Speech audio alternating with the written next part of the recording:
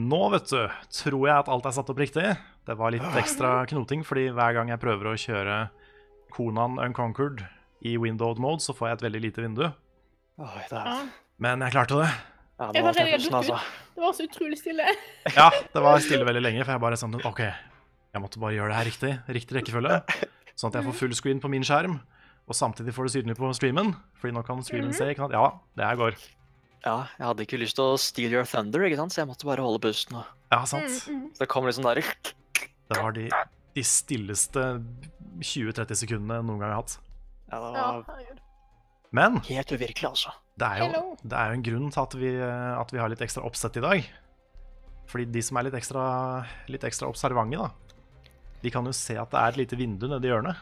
Mhm, Og der står det 'penner kastet' mhm. og 'siste minutt' og info og sånne ting. Der hvor det står info, det er en liten link hvor man kan finne litt info, men vi kan gå gjennom det her. Så at dere slipper å tenke på det akkurat nå. Fordi det er jo E3, og Ja. E3 betyr penneleken. Og det er den samme penneleken som i fjor. Det er fortsatt pen, Pen. men nå har vi chat interaction. Takket være en, eh, en, en, en, en kjekk herremann som heter Asbjørn, som har ordna dette her. Han har eh, koda en penneleken-bot i Javascript, Mhm. og det er ganske fett. Så eh, jeg tenker, Frida, siden du er logga inn, så kan du få æren av å starte eh, vår første E3-pressekonferanse på en måte. Yes. Så det du gjør da til, ja, for det som kommer til å skje, er at vi kommer til å starte den botten for hver konferanse og stoppe når konferansen er ferdig. Yes. Så nå later vi som at det begynner en konferanse. Hva gjør jeg, Karl? Det du gjør, er at du trykker på Altså, du skriver utropstegn Utropstegn? og start, Mhm. og så mellomrom. Mhm. Og så kan du kalle konferansen for hva du vil. Der kom den ikke inn, vet du. Ja, jeg fant den, vet du. Start uh... Fuck. Hva skal vi kalle denne her, da? Noen forslag? Jeg har chatten noen forslag. Hva skal vi kalle første pressekonferanse? Hmm. Dette er en fiktiv pressekonferanse som kommer til å gå underveis i streamen Mm. og teste penneleken. kan den bare hete Test? Eller tror kan den kan hete XP on the beach. Mm. XP on Now that's my kind of conference. kan hete P. Yes. Yes. OK. Da ah, Vi starter, Der har starta. Pen sin pressekonferanse har begynt. og der står info. Du har ti penner. Skriv utropstegn, utropstegn penn for å kaste en penn, og utropstegn angre for å trekke pennen tilbake igjen. Eh, Pennelekenbot vil sende deg beskjed om hvor mange penner du har igjen. Mhm. Oi, men nå Eh, eh, kom det ikke opp. Hvis du følger pennleken pennelekenboten. Da kan det hende det blir litt sånn lydbug, for jeg må refreshe et vindu. Mhm. Skal vi se. Det var rart at ikke den ville Hør, Hu, hang Det går ikke an med andre ting enn Der, vet du. Kom alle. Andre. angre. angre. Du kan ikke gjøre Du kan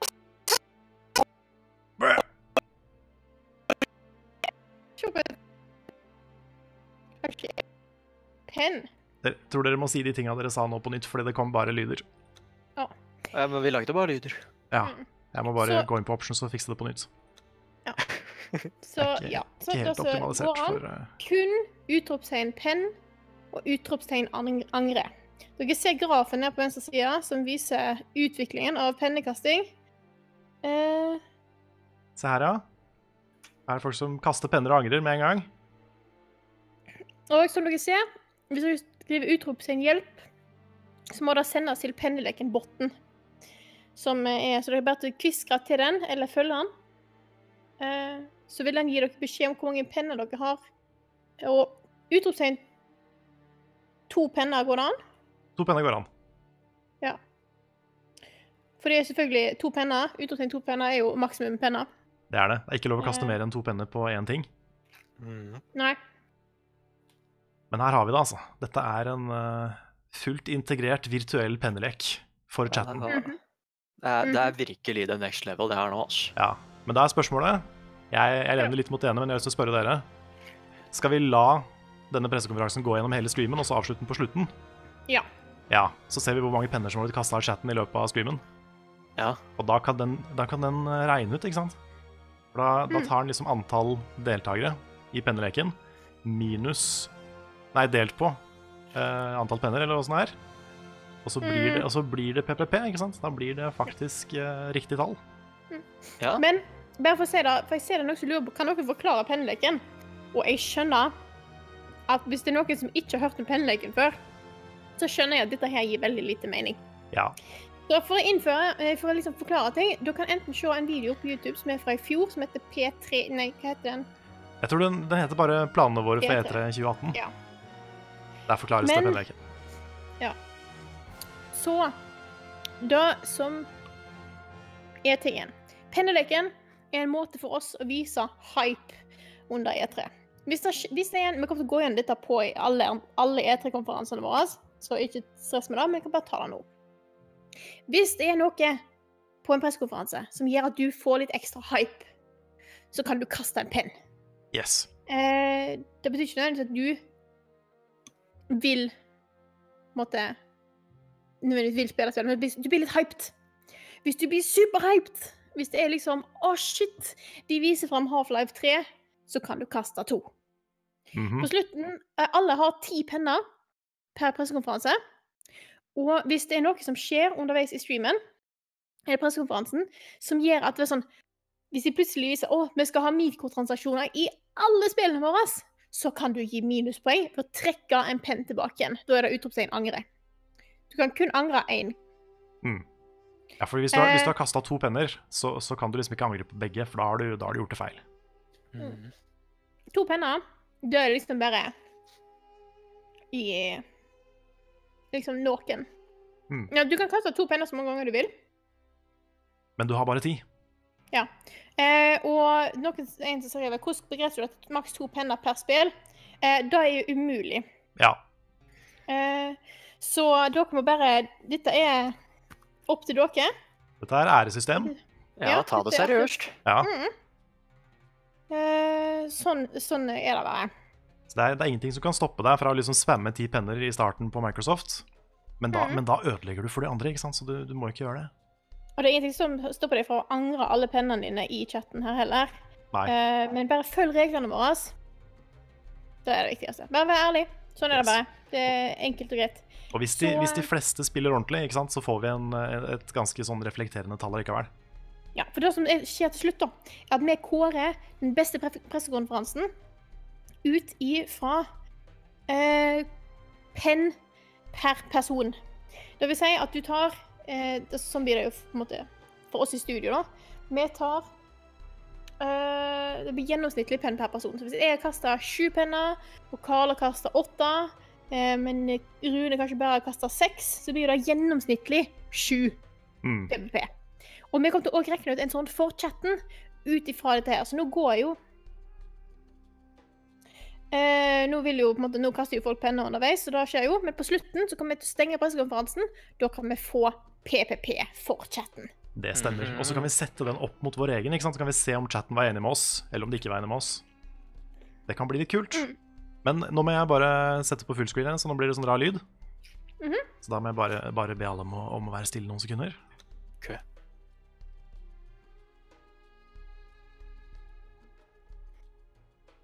Og der tror jeg vi kan snakke igjen. Hello, hello. Oi, det var nesten, i hvert fall. Men nå tror jeg vi kan snakke igjen. Ja. Skal vi gå tilbake til at det er stream, da? Det kan vi. Nå skal jeg sette opp, en ny, eh, sette opp en ny en. Det er jeg opp en ny en. Det er liksom Conan penneleker penneleke betatest Det er det, in real time. ikke sant? Mhm. Så kan dere bestemme hvor mange Nå har vi allerede kasta 104 penner på Conan. Så det er bra spill. Ja, det. Men, men Nick, Ja. hvor mange waves? Jeg tenker jo at eh, Ja, ja, faen, det stemmer det. Det er jo ikke noe mellom 25 og 10. Det Er ikke det? Det er 10 eller 25. Da skal vi bare ta 25, for jeg, to, jeg tror 10 tar en sånn time. Ja, ja 25 er sikkert bra for en, eh, for en stream. Mm. Pluss hadde vi, vi er blitt litt flinkere nå. Ja, nå er, vi, altså, nå er jeg spent på hvor god du er. Jeg har fortsatt ikke testa level 5, da. Jeg har ikke hatt, jeg har Nei, ikke hatt jeg- tid til å spille level 5. Nei, jeg, jeg fikk spilt den bare bitte litt, men ikke, ikke nok til å liksom vite hvor ille det faktisk kunne bli, ikke sant? Nei. Men nå tenker jeg at vi er i hvert fall et hakket bedre enn det vi var da vi prøvde det for første gang. Det er vi. For det gikk ikke så bra første gangen. Vi lagde en video hvor vi kom til Var det, var det wave Ni eller 8-9 Ja. av 10? Og nå er det 25 waves, så dette her kan jo bare gå oppover. Mhm, ja, så the payback is real. Det er det. Det, jeg har troa på oss, altså. Ja, så har trua nå. Nå er Ja, jeg så vi har mye bedre enn enn- enn vi var. Mhm, Er du klar? jeg er klar. Jeg trykker på ready. Jeg trykker på ready. Nice. Battle. Grunnen til at vi tester dette her nå, er jo fordi dette er jo siste streamen vår før eh, E3-streamen- E3-streamene. Mhm. Jeg tror ikke E3-stream. Det er pokker ikke lenge til nå, ass. Kanskje PPP... hardt. Skriver kanskje PPP-en for denne streamen blir karakterer seerne gir dette spillet. En skala fra 1 til 10. Da blir det bra spill. Mhm. Vet ikke om det er noen som har penner igjen, jeg. Ser uh, BomBom Guy spør hva vi tenker om Pokémon Directen. Jeg kan, kan jeg bare si én ting før Ja. jeg begynner?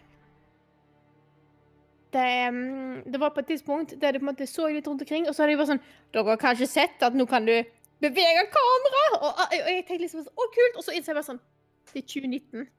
Ja, I know. Jeg blir hyped over at du kan bevege kamera. Det er, Det er men Pokémon, altså. det er Pokémon. Ja. Jeg hadde, det sånn- jeg hadde akkurat samme reaksjon da vi kunne bevege oss diagonalt i et Pokémon-spill Mhm. på 3DS. Det var sånn Hell yeah! Og så bare kom jeg på at det er veldig vanlig. OK. Da er vi Skal vi se. Da er vi fader meg klare, altså. Det er vi. Skal vi se. Ah, jeg- ah, jeg er Conan denne gangen, da. Ja, nå er jeg Valeria. Tenker jeg vi skal Altså første, første gang vi spilte, så bare tok jeg og brukte alle pengene på en lumbercamp. Ja. Er det lurt, eller skal vi gjøre noe annet først? Det er faktisk ikke så dumt. Nei, for vi trenger lumber. Ja, mye tre på starten er ganske viktig. Og vi er jo ganske powerful på starten, da. Vi er det. Vi kan jo faktisk eh, gå og utforske litt. Mhm. Da begynner jeg med lumbercamp igjen. jeg. Ja, jeg gjør det samme. Skal jeg bare gjøre alle de samme tabbene som vi gjorde forrige gang. Nei, Nei, nei, nei. nei. OK, vi har metall på sida. det har vi. Det er, så, det er noe med å bare spille et RTS igjen, for det er så sykt lenge siden jeg har gjort det. Mm.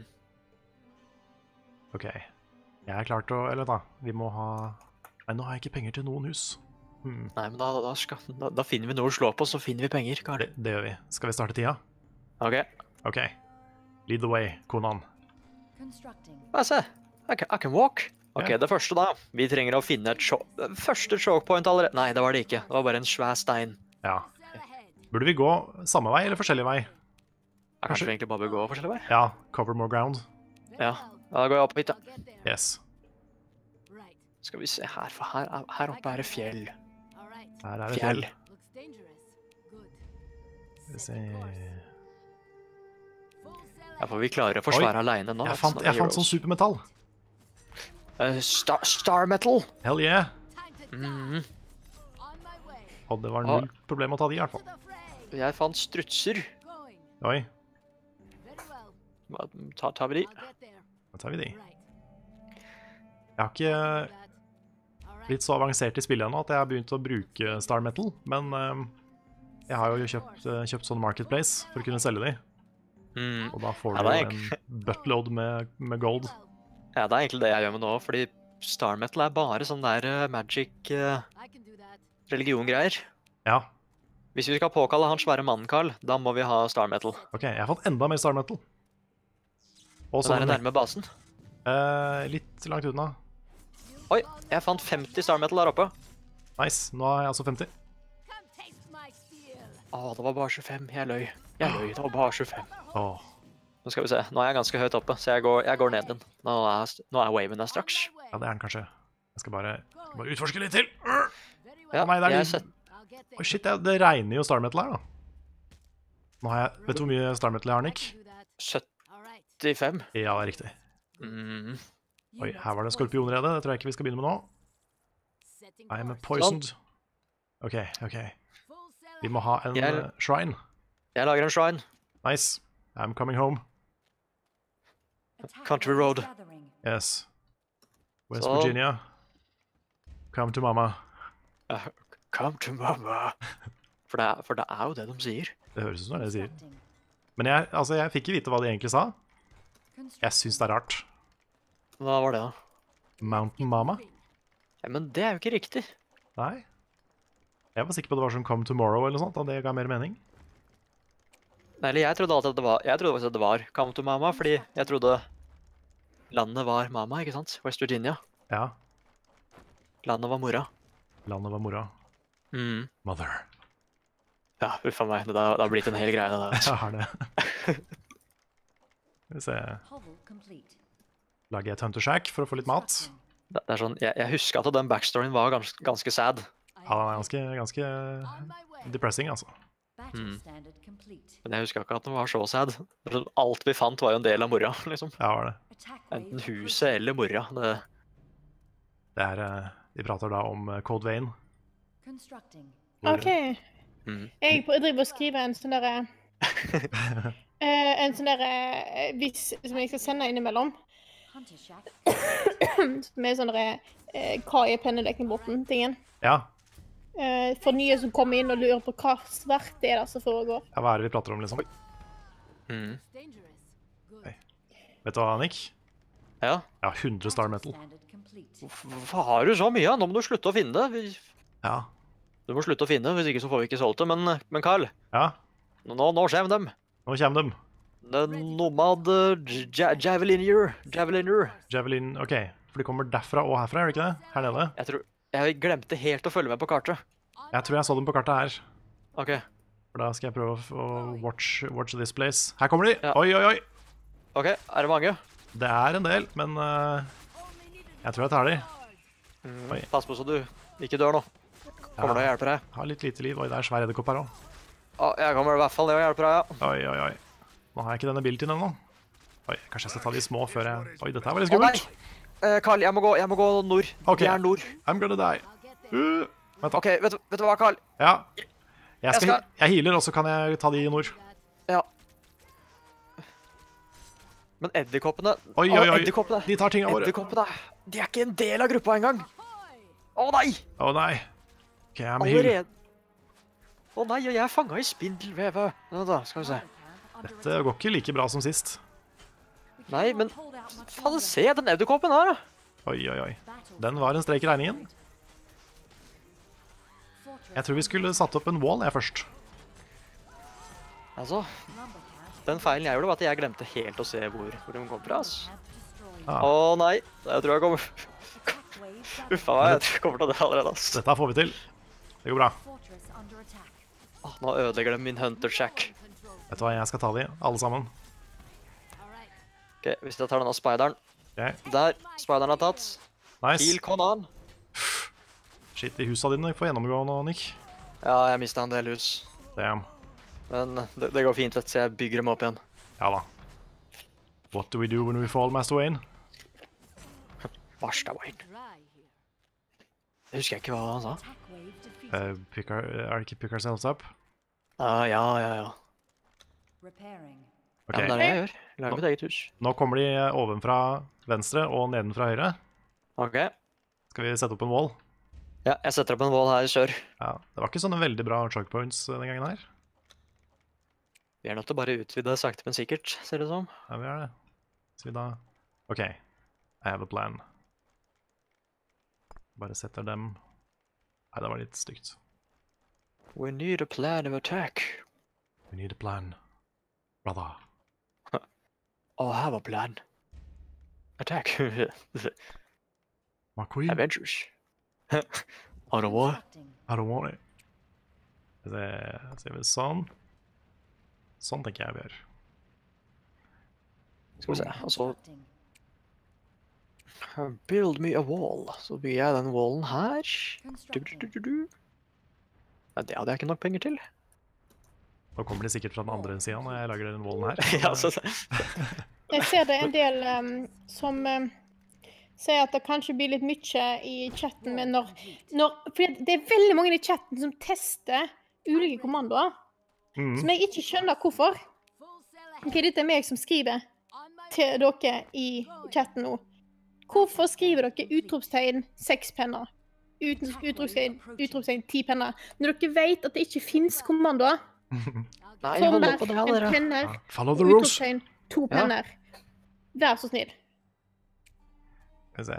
Så hvis, hvis det er det vi kommer til å ende opp med å gjøre Hvis det er mange som driver og skriver eh, feil kommandoer hele tida, bare for at, at jeg ser at, at folk skriver eksempel utropstegn Odd Karsten Tveit. Hvis folk fortsetter med det, så må jeg begynne å time ut folk. Bare så dere vet det. Constructing. Så nå gir jeg folk eh, en warning. Oi, det kommer spiders, Nick. Ja, jeg ser det. Har du bygd veggen? Ja, men de kommer Nei, det over. har, ja, det har jo ingenting å si. Det har De- jo ingenting å De si. driter i veggen. OK, jeg tar spiders i sør. Yes. Men jeg, heter, jeg tror kanskje at utropstegn hjelp kan vi endre på. At da blir sendt priva privat melding. hvis det går an. Ja, er det ikke det? Nei, det blir, hvis noen skriver utropstegn hjelp i chatten, så får de beskjed om at kan du heller sende det på melding. Ja, stemmer. Å. Å, vent, Carl. Det er noen som tar Hunter Cabin. Jeg skal ta den. Å, å shit, det er en spider der, ja. Ja, det var en som sneik seg inn. Å, det er flere her. Nei, OK, ja, nå er de Oi, oi, oi, her kommer de. mann. Kommer de. Dette er mer folk enn det pleier å være, altså. Ja, men nå er det co-op, vet du. Ja. Men hvis de tror at de liksom har overtaket her Sludder. This is our land. Why are we here? Så da sender jeg en grønn mann. Skal vi se her. Sånn. Vent, Sånn, ja. remaining. Det er åtte stykker igjen. Oi. Å, shit. De gikk fra høyresiden. Clever girls.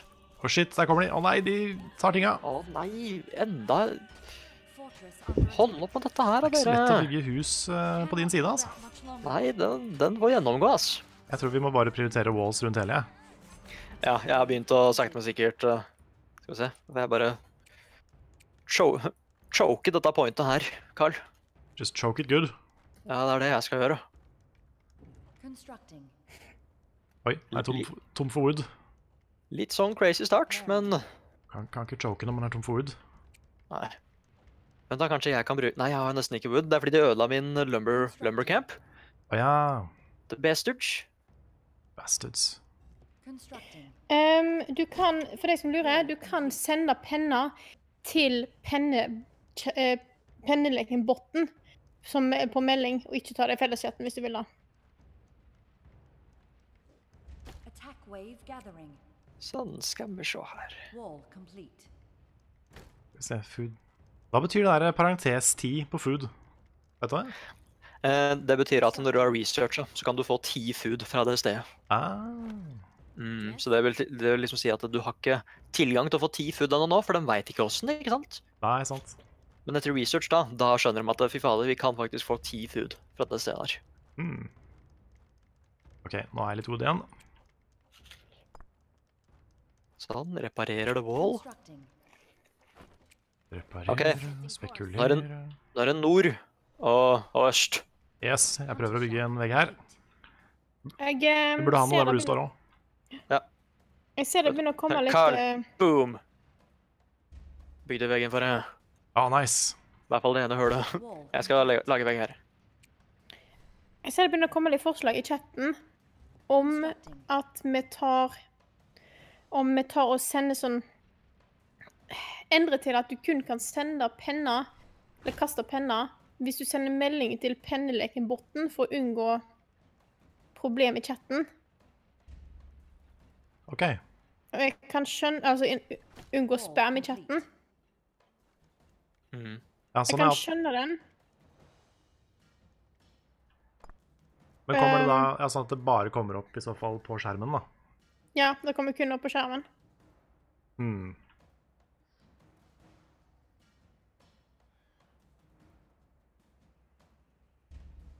Ja, det er kanskje en option.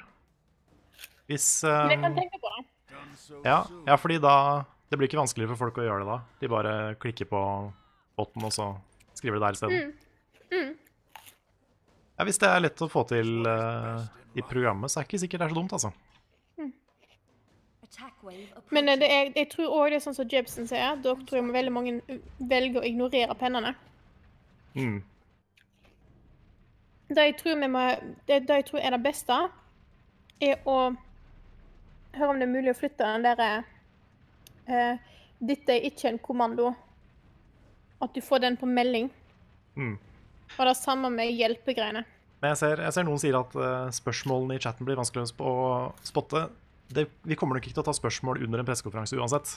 Nei, nei, nei. Så da skal vi sitte og være stille og se på. er Mm. Det blir, spørsmål kommer mer enn når ikke det er konferanse. Ja. Og da er det ikke penner. Så det går nok, akkurat det går bra. Mm. Vi må respektere konferansen òg, ikke sant? Ikke sant?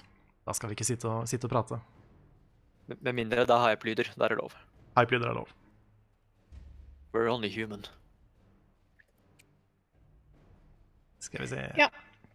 Enig. Vi, tar og, vi kan fikse på eh, Nå sier jeg at vi kan. Jeg kan jo ikke det, men jeg regner med at han som har lagd botten, som er kjempeflink, kan gjøre sånn at uh, du kan Du kan stemme i chatten, men alle andre beskjeder får du på melding. Ja. Da tror jeg vil uh, Eh, Carl Nord, Karl! Oi, oi, oi, oi, oi. Carl! Hva Det er Giant Scorpion der! Oh god. Jeg så på chatten i fem sekunder. Jeg skal sende en grønn mann opp dit. That's all it takes. Ja. Jeg ser òg at det er noen som begynner å si at det blir vanskelig å eh, holde noe gående når det er fullt av pennestrøm i chatten. Det er jo ganske krise mange meldinger underveis i E3 uansett. Ja, det er Mm. sant. Men er ikke det en ting som heter saktemodus, Jo, som vi pleier å ha uansett? under etere tror jeg vi pleier å ha det, ja. Ja. Så da vil det. Eh, Da vil det nok roe seg. Så vi kommer til å ta på saktemodus, og da kan ikke folk bare kaste penner, angre penn, kaste penn, angre penn. Eh, hvordan er det saktemodus fungerer igjen? Er ikke det sånn 30 sekunders delay eller noe sånt? Ja, jeg tror det. Eh, så jeg tror det er lurt å ha uansett, og da slipper du det problemet. Mm. Ja, du kan, du kan bare poste så og så ofte. Eh, Å! er det mye Myti nå? Her har vi jo fyren som har lagd borten. Kan Yes. å begrense antall angringer? Ja. Den angringa skal kun være én gang. Ja, det er faktisk sant. Jeg kanskje, kanskje si to, da. Så at det er lov å angre to ganger. Ja. Bare sånn tilfelle. Mm. Tilfelle det trengs. Mm. Jeg lagde en lumbercamp til, Jannik. Ja, det, det gjorde jeg. Altså, vi, vi går fort tom for wood, altså. Ja, vi gjør det. Har du sett de edderkoppene som driver og driver og plotter utafor muren din, Carl? Utafor muren min. ja. Og se der, ja. De driver og. I morgen tar vi den. ja. OK, nå ser det ut som nord kommer til å bli ganske hektisk nå. Ja, jeg lager fire javelins.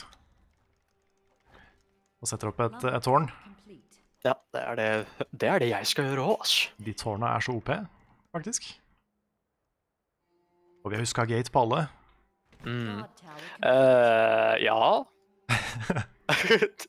De husker, ja, det har jeg huska. Ikke se til Der, ja, det har vi. Sånn, vet du.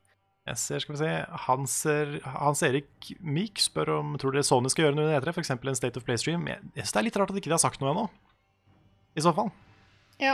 Jeg tror de hadde sagt fra på forhånd hvis de skulle gjøre det. Så jeg Mm. tenker nå at det mest sannsynlig ikke skjer. Se, jeg setter opp et tårn her òg, jeg. De tårna er litt OP, så de er fine å ha. De tårna er sweet. Jeg liker at vi har forskjellige strats, da, Nick. Ja. Fordi du, har, eh, du begynner å bygge opp armies. Jeg kjører bare tårn. Du, du er glad i de tårna. Ja, jeg er en sånn tower defense man, vet du. Ja, men etter hvert så, så, så, så bygger jeg opp mine tårn òg, ass. De, de er bra. Ja. Oi, oi, oi, nå fikk jeg faktisk lov å bygge ganske mange soldiers. Men herregud, ass. Det er wave 4 nå. Ja. Og de, de begynner allerede å sende flammeting. Det er ikke helt uh, Det er ikke snilt. Nei, det, det tok litt for, for kort tid. Det gjorde det. Har dere lyst til å gi meg innføring i det spillet der? For jeg har ikke, sett, jeg har ikke fått sett den eh, videoen dere hadde på YouTube. Så jeg sitter og bare Ja. Har du spilt eh, Hvor mye RTS har du spilt, Frida? Pikmin teller som en RTS. Det gjør det. Ja, det gjør det. Little King Story teller som en RTS. Ja. Det er på en måte Da det. Er et veldig sånn forsvarsbasert RTS. Hvor du, eh, du bygger opp mur, sånn som jeg har gjort her, rundt basen din. Og så kommer det waves med fiender. Og så skal du helst ha bra ting for å repel the wave. Mm. Det er eh, kort og greit åssen det funker. Kult. kult. And it's pretty good. Jeg ser det har fått Ja, litt blanda mottakelse, men jeg liker det. Jeg kom på en ting til Ja. chatten. Til dere som var redd for at det kom til å bli mye spam i chatten, og så alle som skriver, kaster penner. Men alle skriver jo penn underveis i chatten. Constructing. om det E3 så langt òg. Hver E3-stream, hvis det kommer et kult spill, så skriver jo folk penn. Ja, det gjør det. Det er sant. Ja. Så det er jo ingen forskjell. Det er bare at noen folk forandrer. Ja, nå, nå funker det faktisk, ja. Ja. Så at jeg innser at det er liksom Det kommer til å være likt som det alltid har vært. OK, Carl. Nå Oi, det. her kommer de. Jeg tar det kommer noen her nede òg. Jeg tar de her nede. Ja. Ja, jeg går nord. Flammedudes er der. OK. Shit. Da Nå kom det selvfølgelig der vi hadde to. Training har spørsmål her fra Shyman92 som spør hvor mange waves har dere klart på det meste? Eh, vi spilte Eh. bare med ti første gangen når vi spilte sammen, Mm. men da klarte vi åtte. Og så da Ja. var vi på nummer ni. Structure. Men eh, når jeg har spilt solo, så har jeg klart de fire første campaign-levelsa. Og den siste av de har vel sånn 20 waves, tror jeg. Jeg tror det er 20, ja. Det har fått 20 på meg. Yeah. Men jeg har da- ikke, ikke testa level 5, jeg er litt redd for det. Jeg har en følelse at den kommer til å være brutal. Sånn, dette her, Skal jeg dette her går jo bra. kjøpe et nytt uh, Huntershack? Skal det være et nytt huntershack? A hunter must hunt. Og jeg håper ikke noen hører at hundene mine bjeffer. Kanskje Jeg hører ikke noe. Hva er det som skjer nå? Hva? Har vi uforsker oi. litt nå? Ja, jeg, jeg, går, jeg går litt med mine grønne menn her eh, OK. Til, til Essos, holdt jeg på å si. har litt lyst til å prøve å ta en av de bossene snart, jeg. Kanskje ikke med en gang, men uh, soon til hjem.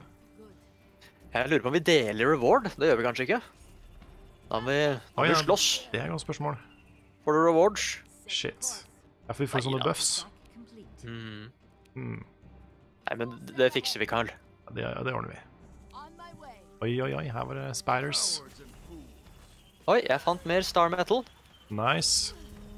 Star Skal jeg bruke supertingen min? Starfinger. Starfinger. Starfinger. Liten Jojo reference. Ja. Det er så mange Jojo references. ja, det er, det, det er Og jeg tar den 90 av showet. Ja. Altså, hvis jeg sier oh no, eller oh my god, Carl, da kan du si at ja, det er en Jojo That's a my Jojo, God. Jojo. Og så kan du eksempel si at jeg trodde det skulle bli et bra spill, men så var det bare meg, Dio Brando. Ja, den, men den har jeg hørt. ja. Mm. I understood that reference. ja. Det er liksom something. må- Oi, sorry. Nei. Nei, sorry. Jeg er liksom jeg chatten, og så tenker jeg skal si ting, og så Ja, så, så glemmer jeg å høre etter om dere har hatt en samtale. Ja. Eh, jeg ser det er spørsmål i chatten om hvem det er som kom til å være på E3 av oss. Av oss, ja. Mhm. Det blir, eh, vi blir vel fem, tror jeg. Det blir da oss tre som er her nå, Mhm. og Rune, of course. Mhm. Og så, eh, så vidt jeg har skjønt, så kommer Bjørn. Han har i hvert fall sagt at han har lyst til å være med en del. Dessverre ikke Svendsen og Lars. De kunne ikke. Åh. Nei, bygde du en, bygde du en Huntershack rett foran min shrine? Og gjorde jeg det? Det var ikke Nei, meninga. du, nei, du ass. Sorry. Men jeg, nå, kan Nei, de, du ass. nå kan de hunterne mine ha det fint, ikke sant? De kan, Jo. de kan heale mens de er på, på jakt. Ja, jeg, jeg mente ikke å klikke, altså. Nei, det- går bra. Det går bra. Jeg tror bare det var dette barbargenet i meg som, Ja. som ble litt riled up. Barbarians of friendly conversation. Ja, selv om den Conan vi har liksom laget nå, in the law, han er jo ikke akkurat særlig slem. Nei, han er egentlig bare kjernekar, han. Eh, hva driver bot... Å! Oh! Mitt nå. Har du inkludert haiku? Yes. Ja, jeg tror kanskje du må unngå uh, utropstegn haiku. Hvis ikke så blir det plutselig eh, veldig mye spam. Utrolig kult, da. Det er fint med easter eggs. Se, jeg lager en liten sånn ekstra pølse på den ene wallen. Jeg tror kanskje den er eh, At folk kan gå på stranda der. Lag den pølsa. Jeg lager pølsa. Da er jeg spent. Hva er den pølsa? Nå må jeg se. Det er bare en bitte liten en. Pølsa? Yes. En, en veggpølse. Ah, ja, er det en sånn der Val Maria-situasjon igjen? Jeg er redd for det. Ja, s- som, det er så smart, altså. Hva da? Det, det, det funker så bra. Val Maria. Ja, sånn dobbel wall? complete. Ja, altså i konen, liksom. Ja, Det er Oi. ikke så dumt. her kommer de. Men nå har jeg walls, vet du. Nå har jeg sånne, sånne tårn. Å, det er Astemon. They won't know what hit them. OK. Supertime. Se, hun bare gruser det, ja. Zakariassen spør kommer dere betale for turen til E3. Ikke spesielt mye når vi ikke drar til USA. Nei. Å, Carl, Vi må- ikke, ikke dø nå, vi må Carl. kjøpe billettene til trikken og sånn. Ja. Oi, jeg kommer Og å dø. eh, betaler for togbilletten min. Nei, Carl! Åh, Today on me. det var én pil til, da, så hadde jeg vært au. Ja, gå og skyss min shrine. Jeg hadde 15 HP. Se den shrinen ordner opp. da. Å, kan jeg ta den star metalen som er her? Det kan du, for jeg har fullt. Å ja.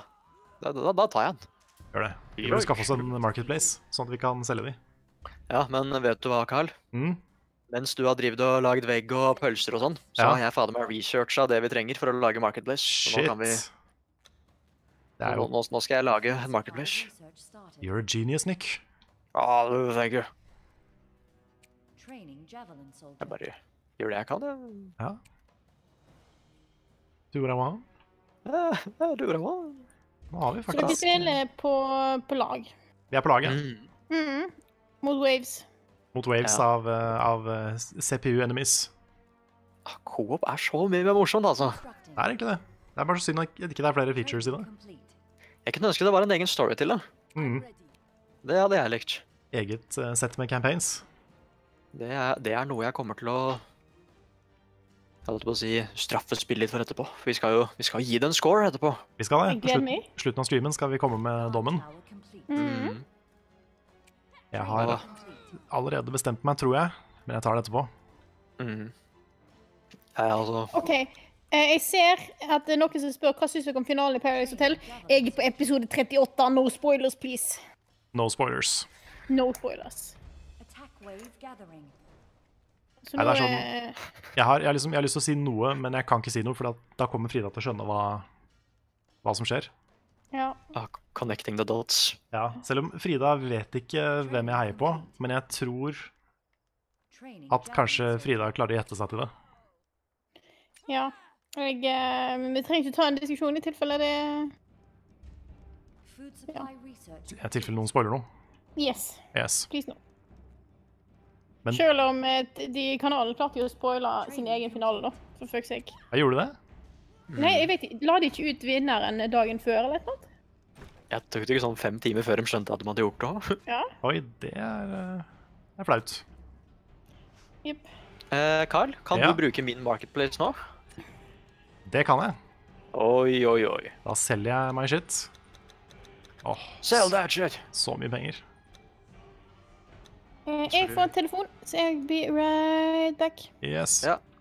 Å, Carl, har du researcha mat? Herregud, altså. jeg har det. Kan jeg lage en sånn farm her? Uh, der jeg er med konaen, liksom? Ja. Uh, ja, bare så lenge jeg får en plass til en farm òg, så, så er Yes. det greit.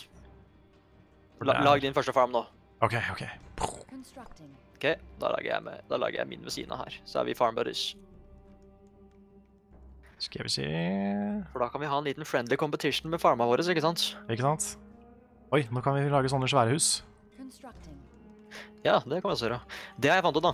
Mm. Det er ikke det, Den feilen gjorde jeg har jeg gjort litt for mange ganger. Oppgradere alle Det er ikke lurt å oppgradere da Havels før du veit at du i hvert fall har nok wood og penger. Fordi du, Ja, er sant. de, har, de kan ikke brukes mens de oppgraderes. Pluss, og pluss at du kan gå på en skikkelig smell med wood. Det er sant. Han sme feil er- smeller wooden. Wave smell i wooden, og den feilen har jeg gjort litt for ofte, altså. Det er scary greier. Skal vi se ja, du, har, du har folka dine ute og går, du, ja. Jeg har mine i tårna, jeg. Ja, de er litt sånn uh, mobile. Born Mobile. Ja, born mobile. Arvoy. Det er en av tidenes kleineste pressekonferanser, forresten. Så hvis noen søker på Born Mobile på YouTube, så finner dere en veldig, veldig veldig pinlig pressekonferanse. I can do that. Men de hadde det gøy, da. Det er jo Det hadde de. det er det viktigste. De har, så- de er sånne skuespillere som skal være forskjellige mobilbrukere. Og du kan bare se for deg hvor kleint det er. Skal vi se. Ah, dette er Å, Karl, nå, nå kommer de! Kommer de? Oi, ja, der er de, ja. Jeg drev og sloss mot spiders, men så kom de her isteden. Det var dumt. Hadde 84 stykker på wave 6, altså. Det, det er litt av en spike. Ja, jeg må go heal. Ja. Men her har jeg dudes, heldigvis. ja. Pluss at eh, kona, bare kona er her også, vet du. Skal hjelpe litt til. Shit, vi gruser de. Det var en litt rocky start, men nå er vi på G. Ja, altså, de, de, måtte jo spille feigt for å prøve å stanse oss på starten. Ja, de måtte jo det. Oi, der kommer det noen folk nord også. Men Å, jeg kommer. mine grønne menn De er også blitt ganske legendariske. Se her, han De, jeg føler veggen tåler mindre i coop. Men jeg- lurer om de bare er sterkere. ass. Det er sterkere og sterkere og flere av dem. Fiender og sånn. Ja. Å, nå kan jeg lage quarry. Jeg lager en quarry her. Constructing. Det er litt sånn casual bygging mens jeg, mens jeg slåss. Mm. Oh, shit. Den veggen har litt liv, Ja, det er det. Jeg kommer dit. Jeg tror vi trenger dobbeltvegg, ass. Into the fray. Nå går den. The wall is destroyed. Ja, men da går, da går Conan gjennom og bruker det hullet i veggen til å angripe. Ikke sant? Mm. De skulle ikke De skulle ikke gjort det. Gjorde meg Grasp bare your mer powerful. weakness. Ja, grasp your weakness and turn it into strength. Mm. Men jeg ser jo nå at eh, jeg prøvde å være hyggelig i stad, ikke sant? Med Ja. å bygge resten av veggen for deg her på høyresida. Men. Ulempen er at du kan ikke reparere det. Så kanskje jeg bør fjerne den, og du bygger den isteden. Oi, kan jeg ikke det? Nei, jeg tror ikke du kan. Hmm. Så skal jeg fjerne den, og du bygger resten, eller? Jeg tenker det går bra. Jeg kan si fra hvis jeg ser det. Ja, da gjør jeg det nå. Og så lager jeg en, que en query. Jeg vet ikke. Men hva må vi researche for å få eh, sånne ballistaer? Er det ikke, ikke Brazier, men de er også bra. Der! Engineer training. Den tar vi. Og du tenker allerede på ballistas, du. Jeg gjør det. Når det kommer sånne, kommer sånne flyvere, så må vi ha de. Mm. Og så må jeg lage hestedudes. For de Fordi jeg er dritbra til å ta ut katapulter og sånn. Ja. Bare sender dem inn. Nå skal jeg gå og yppe på en boss, jeg. T uh, trenger du hjelp? Eh, Du kan hvis du vil. Hvis, Ok. hvis du if, you dare. Ja, altså. Ja, altså. Jeg, jeg, jeg blir med. Nice. For da er det han med horna oppi, oppi her. Mm. Jeg kan, jeg kan prøve å lure den bort til deg. Ja. Hvis du er Konan og Valeria er på nye eventyr, ikke sant? Ja, ja. Konan og Valeria sitting in a tree. Pusen. Pusen. Hello. Hello! Hello. Å, her er mest dametur. Oh, der kommer, Sta der kommer det, ja. ja. Trodde du at du skulle banke han der aleine, Carl? Jeg er her for å hjelpe deg, vet du. Nice. Å, det er flammedude. Og der, å, shit, der flyver òg. De får vi ikke gjort noe med. Skal vi stikke av? Um, Live to fight another day? er de så farlige, altså? Han her var ond. Ja, hvis, hvis han påkaller en sånn der eh, flame demon, så sliter vi jo litt. Ja. Kanskje vi kan, Vi kan, vi kan slåss helt til vi har sånn litt liv igjen. Ja. jeg tror ikke han fyller opp liv. Ja, jeg tror ikke han fyller opp liv, så vi kan jo bare Nei, han er jo ikke det. Oi. Oi, jeg brenner nå, ja. Det... Ja, det Oi, er vent, jo waven er jo straks i gang. Jeg, jeg går tilbake. Oi. Jeg går tilbake. Ja, går tilbake. Men vi tar den på neste, neste tur. Ja, altså We will be back, altså. Yes. Hvor ser dere om waven snart starter? Det er oppi, er, oppi eh, her. øverst. Å ja, bak eh, Patreon-greiene? Mm, nei. I, i midten, midten oppe. Å, i midten, ja. Så Da kan, du det- se, altså, da kan du se at nå er det en wave som er i gang, for den er rød. Så ser du Mhm. neste wave der borte. Yes. Light defenses research started. Fader, så rask du er, da. Skal vi se. Ja, Valeria, jeg tror jeg løper litt fortere enn eh, Ja, du bare spurta hjem. enn crowden. Å, nå kan jeg bygge en ballista! Jeg bygger en ballista her. Jeg gjør det. Ramguy 239 lurer på om det går an til å reparere hverandre sine ting. Det er det jeg ikke- tror det ikke går an. Hmm. Something? Ja, det visste jeg ikke. I så fall. Nei, det Det syns jeg vi kunne gjort, altså. Mm. Mm. Er det sånn at jeg bare stoler ikke på at du skal reparere mine walls? Ja, kanskje det, fordi vi er barbarians, ikke sant? Mhm. Så uh, barbarians have no friends. Uh, Bomber, altså. Ja. Ja, men nå er ballistaen min ferdig. Og der kommer de! Dette klarer vi. Det, Du, vet. Superattack! OK, Så Konan. det, det er noen som sier at dere på utvide basen bygger veldig mange hus. Jeg vet ikke, jeg vet ikke om folk har spilt det, eller om det bare kommer random tips, men jeg leser opp uansett. Balla75 skriver burde dere ikke oppgradere walls til stone? Eh, vi kan ikke ennå. Nei. Oh, shit. I died. We don't have the research or the technology. Jeg tror det kommer mye mer folk som slår mye hardere i Coop, ass. Oh, shit! eh, Jeg går, jeg går Nick! Ja, ja, yes, yes, yes, yes, yes, yes. Alle mine grønne menn. Gå Ja, dit nå. solid eh, skorpion. Det var det, men jeg, går det her bra? Jeg tror kanskje det går bra, ja. Det brenner litt, Ja, bare. jeg, ja, men jeg skal fikse det. Jeg skal kaste sand på det, Carl. Yes. Men hvis du har dødd nå, Carl, Mm. hva skjer da?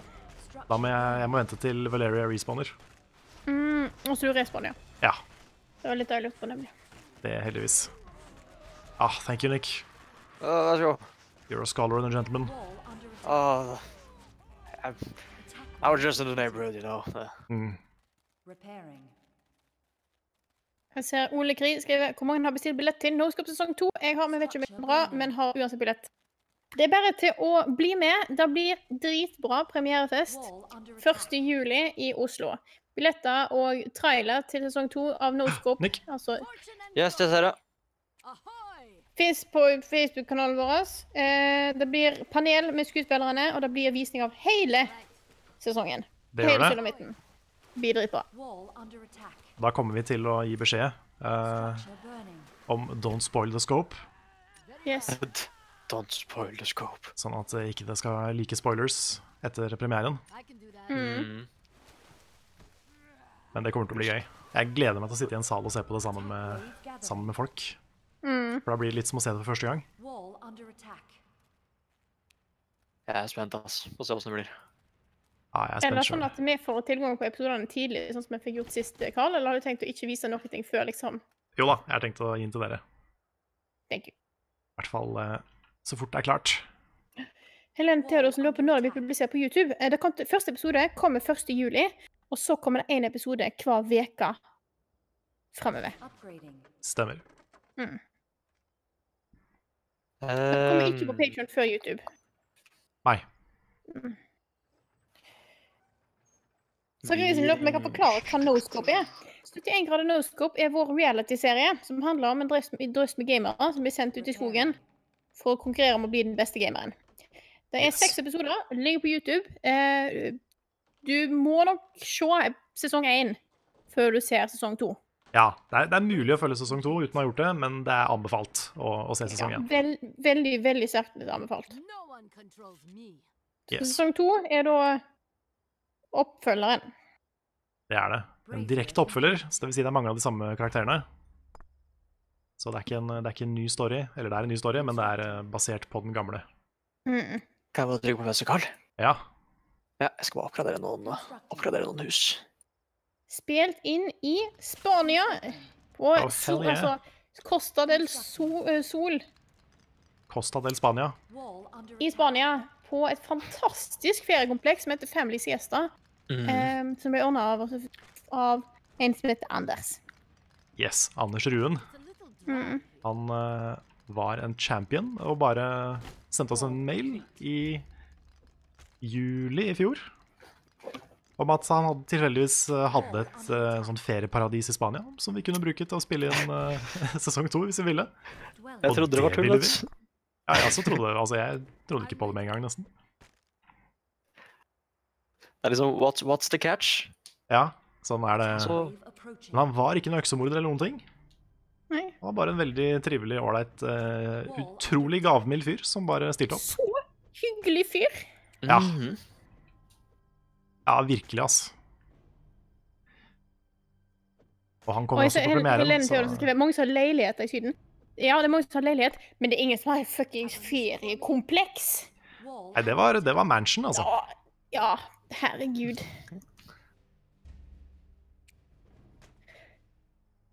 Jeg, se. jeg tror jeg må lage et sånt tårn. Kanskje ha det her, går det? Jeg ser du bygger tårn overalt her. da. Ja, ja, ja. Du og dine tårn, Carl. I, I believe in the towers. Er det Ja, ok, det er en waver nå som kommer. Ja, og det er um, White Walkers også. Ja, White Walkers. det er ikke bra. Wall under attack, hvor da? Der oppe. I'm on my way. Så er det noen- Du har gitt dem flamme, flammeammo her, altså. Det Nice, jeg. nice. Flammeammo er bra, altså. Jeg liker at hele, altså Helene Theodorsen skriver da fikk dere dra på ferie òg, velfortjent. Det var ikke mye ferie. Det var ikke det, altså. Vi hadde, Altså- vi hadde et håp om å kunne få litt ferie. Vi hadde planer om å eh, ha sånn tre dager ferie, men Ja. filminga tok mye lengre tid enn planlagt. Eh, så vi fikk Dere fikk én dag ferie, som ble ikke så mye ferie, for det ble filming da òg. Mm. Jeg dro en dag tidligere. Eh, så det, alt ble filma. Det var ikke, ikke tur til stranda. Ikke tur til stranda. Eh, så vi filma jo. De fleste dagene så holdt vi på fra vi sto opp. Vi spiste frokost, filma. Hadde lunsj, filma. Middag. Og så filma vi til vi ikke kunne filme lenger. Mm. Typ at klokka var halv fire på natta. Ja. Vi var ganske gærne, altså. Det var, eh, det var lange dager. Den ene ferietingen som jeg fikk tid til, det var å bli med i Dyreparken. Og det var koselig, da. Det var veldig koselig. Vi var der i ei uke nesten. Vi dro ned torsdag ettermiddag. Og dere dro hjem torsdag formiddag. Dro tilbake en torsdag formiddag. Jeg dro onsdagen. Ja, stemmer. Så det var eh, Vi var der en stund, men det tok tid, altså. Ja, det er var- mye som filmer. men Det er så mye gøy. Ja, fordi det jeg tenkte, da, eh, sånn, eh, sånn planleggingsmessig, det var at vi klarte å filme alt i skauen på to dager forrige gang. Mhm. Men uh, det var jo ikke like mye. Så, så for, å, for å si det mildt, så, er, eh, så var sesong to litt mer å filme enn sesong én. Vi måtte steppe up the game, ikke sant? Vi måtte det. Men jeg er dritspent på hva folk kommer til å synes. Jeg gleder meg skikkelig til å vise det fram.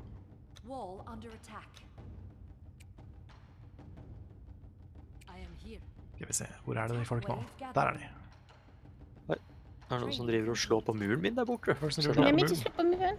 Ja, Har du noe- det, ja. Har du noen people å sende inn dit? Ja, jeg sender den tilbake. Jeg tenkte jeg skulle prøve å ta han Skal vi ta han fyren? Ja, fader, det, det kan vi gjøre. Nå tror jeg Det vi har kan vi tid. Så får vi levela snart, forhåpentligvis. On my way. Very well. Wall under attack. Sånn. Wall under attack. Hva er det som er under er, attack nå? det er, det er min wall. Å, det er de der, ja. I'm sorry. Tullekoppene. Ja, tullekoppene. også driver og tuller og tøyser. Jeg Mm. går opp til deg nå, Carl. OK, I'll, I'll wait for you. Hvis vi synkroniserer, så kanskje vi klarer å ta han.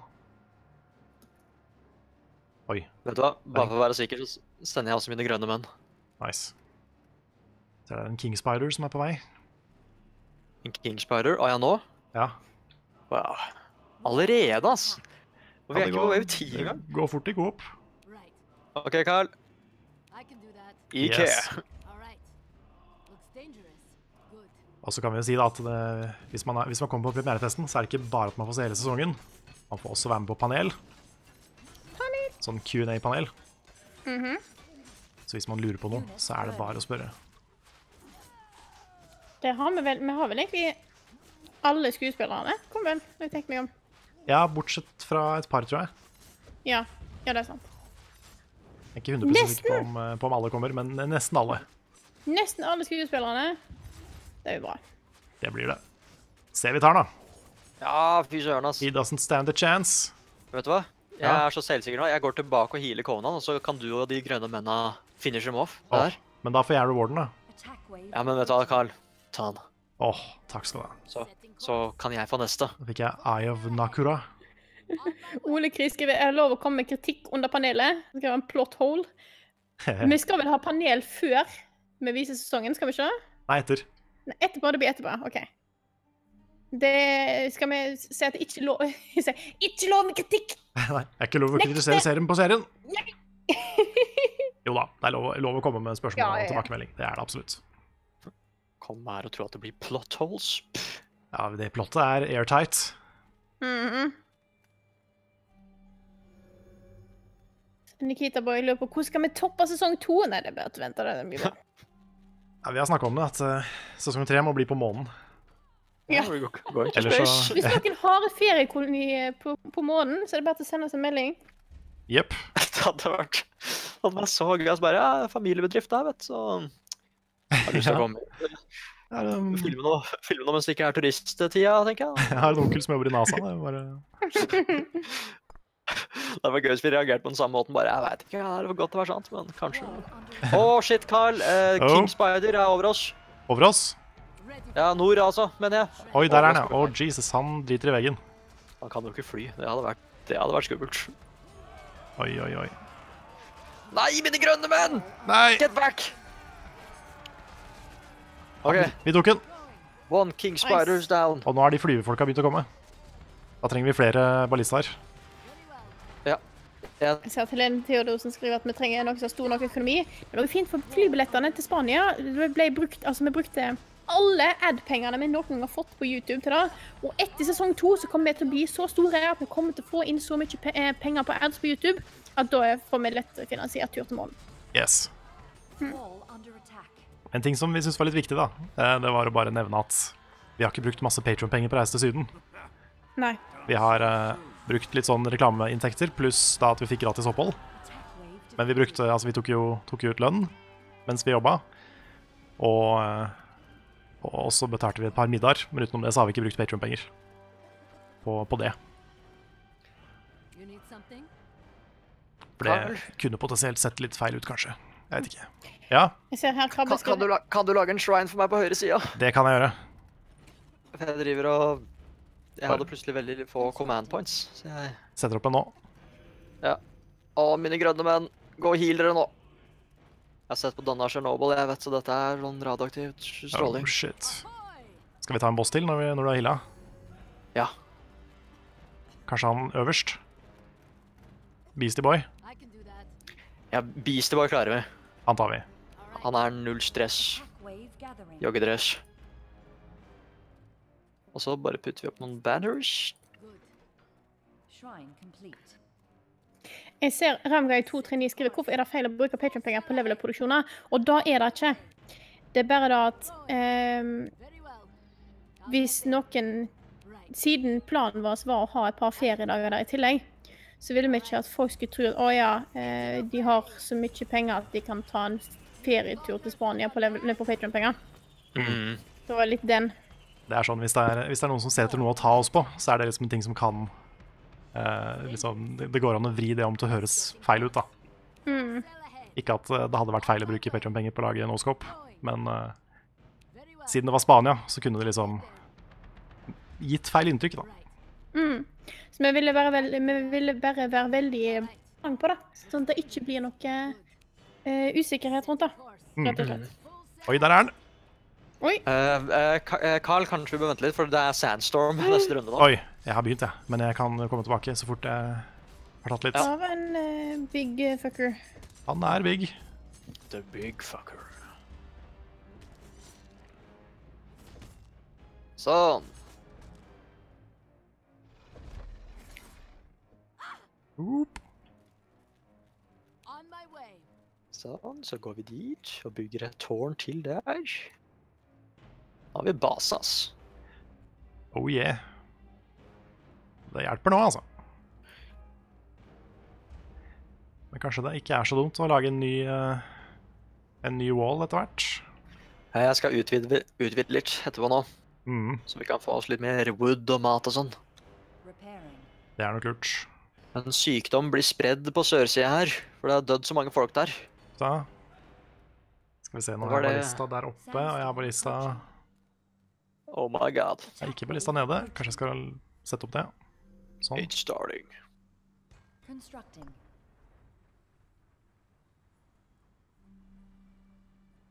Warping lurer på hva serier ser dere på nå som Game of Thrones er over?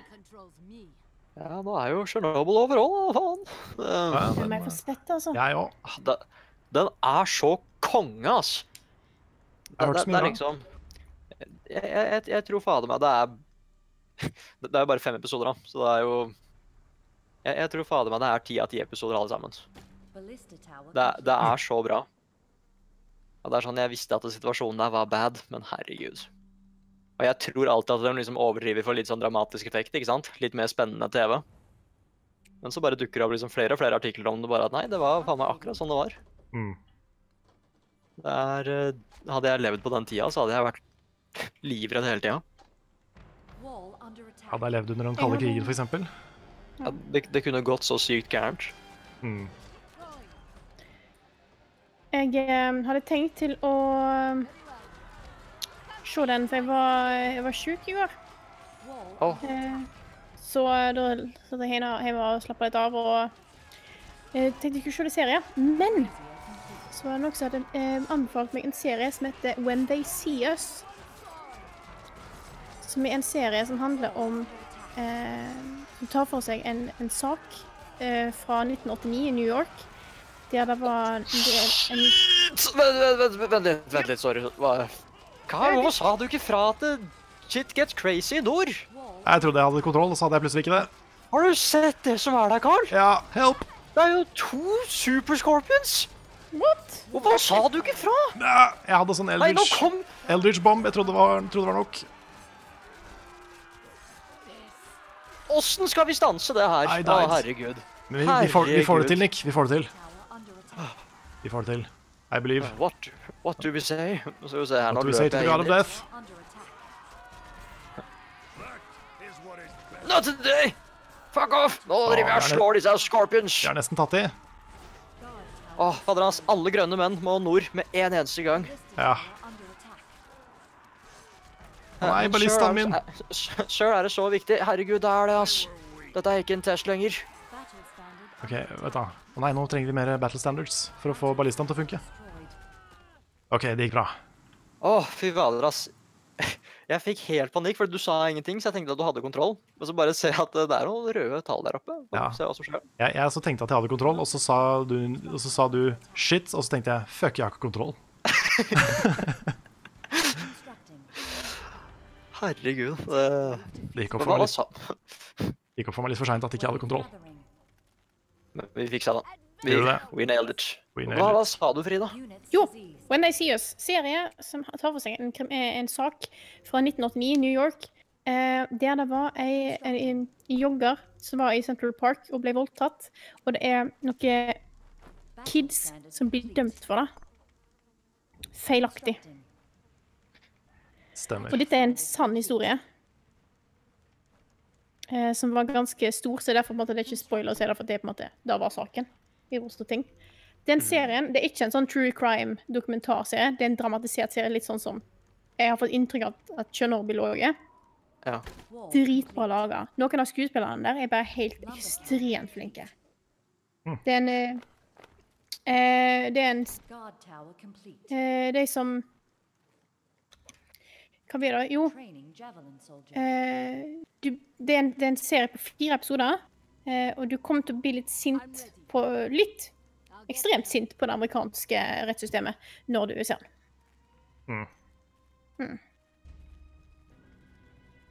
Det systemet der, ass. Bare Det var kanskje det jeg husker best fra 'Making a Murderer'. Sånn uh, måten det der funka på. Husker du hvor sint du var på eh, politiet fordi måten de uh, intervjua han derre kiden? Ja, ja, ja. Han, eh, Er du klar for å gjøre det enda flere ganger, bare enda mer intenst? Jeg er ikke klar for det. får akkurat de samme problemene. Mm. Uff a meg. Jeg kommer også til å snakke om han i podkasten. spoiler alert. Podcast-spoiler.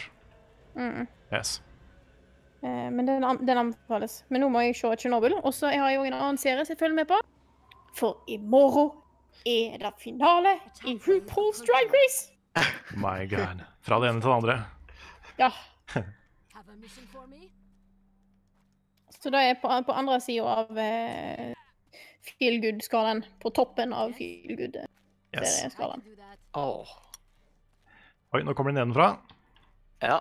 Eh, ok, vent. Nå må jeg sjekke. Carl, hvor mye wood har du nå? Eller hvor mye får du hver runde? Jeg får pluss fire. Hvor mye stein får du per runde? Pluss tre. Hvor mange dyr får du per runde? Pluss ni. Og jeg har masse dyr. Jeg kan selge noen dyr. Vi deler ressurser, da. Ok. Eller vi deler inntekten av det. Gjør vi det? Ja, ah, OK.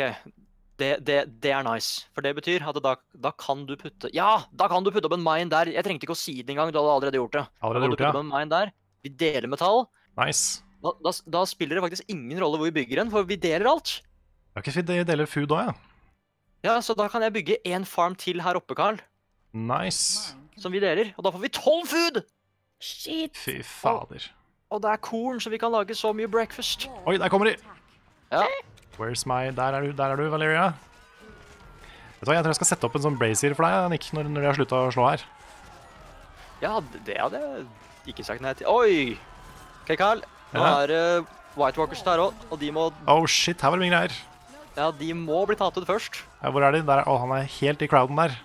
Hvis ikke så får vi en Night King-situasjon her. And I'm stuck in the, stuck in the mud. Å nei, den! Den må ned. ja. Der står Ender Gaming skriver lurt på om Carl og Nick hadde skjønt at det var income Share-spillet. Nå fikk han svar på spørsmålet. Ja, vi, vi fant det ut nå. Jeg var helt okay. sikker på at det ikke var det, men det lærer alltid nye ting. This is trouble. Og nå er jeg spiderwebbed. Ja, men Carl, mellomnavnet ditt Mellomnavnet mitt er spiderwebbed. Nei, jeg skulle si trouble, men ja, det er det. ja, ja. Situational, you know. Mm. OK. Jeg tror jeg må Carl, ikke dø! Ikke jeg, dø, da, Carl! jeg kommer til å dø. Det er jo ikke noe gøy hvis du dør! I'm- I'm running away. Å, fy søren, Oh, har du sett ned på kartet? Jeg ble har du sett hvor de Jeg ble webba. Oi, Vi har, vi har problemer.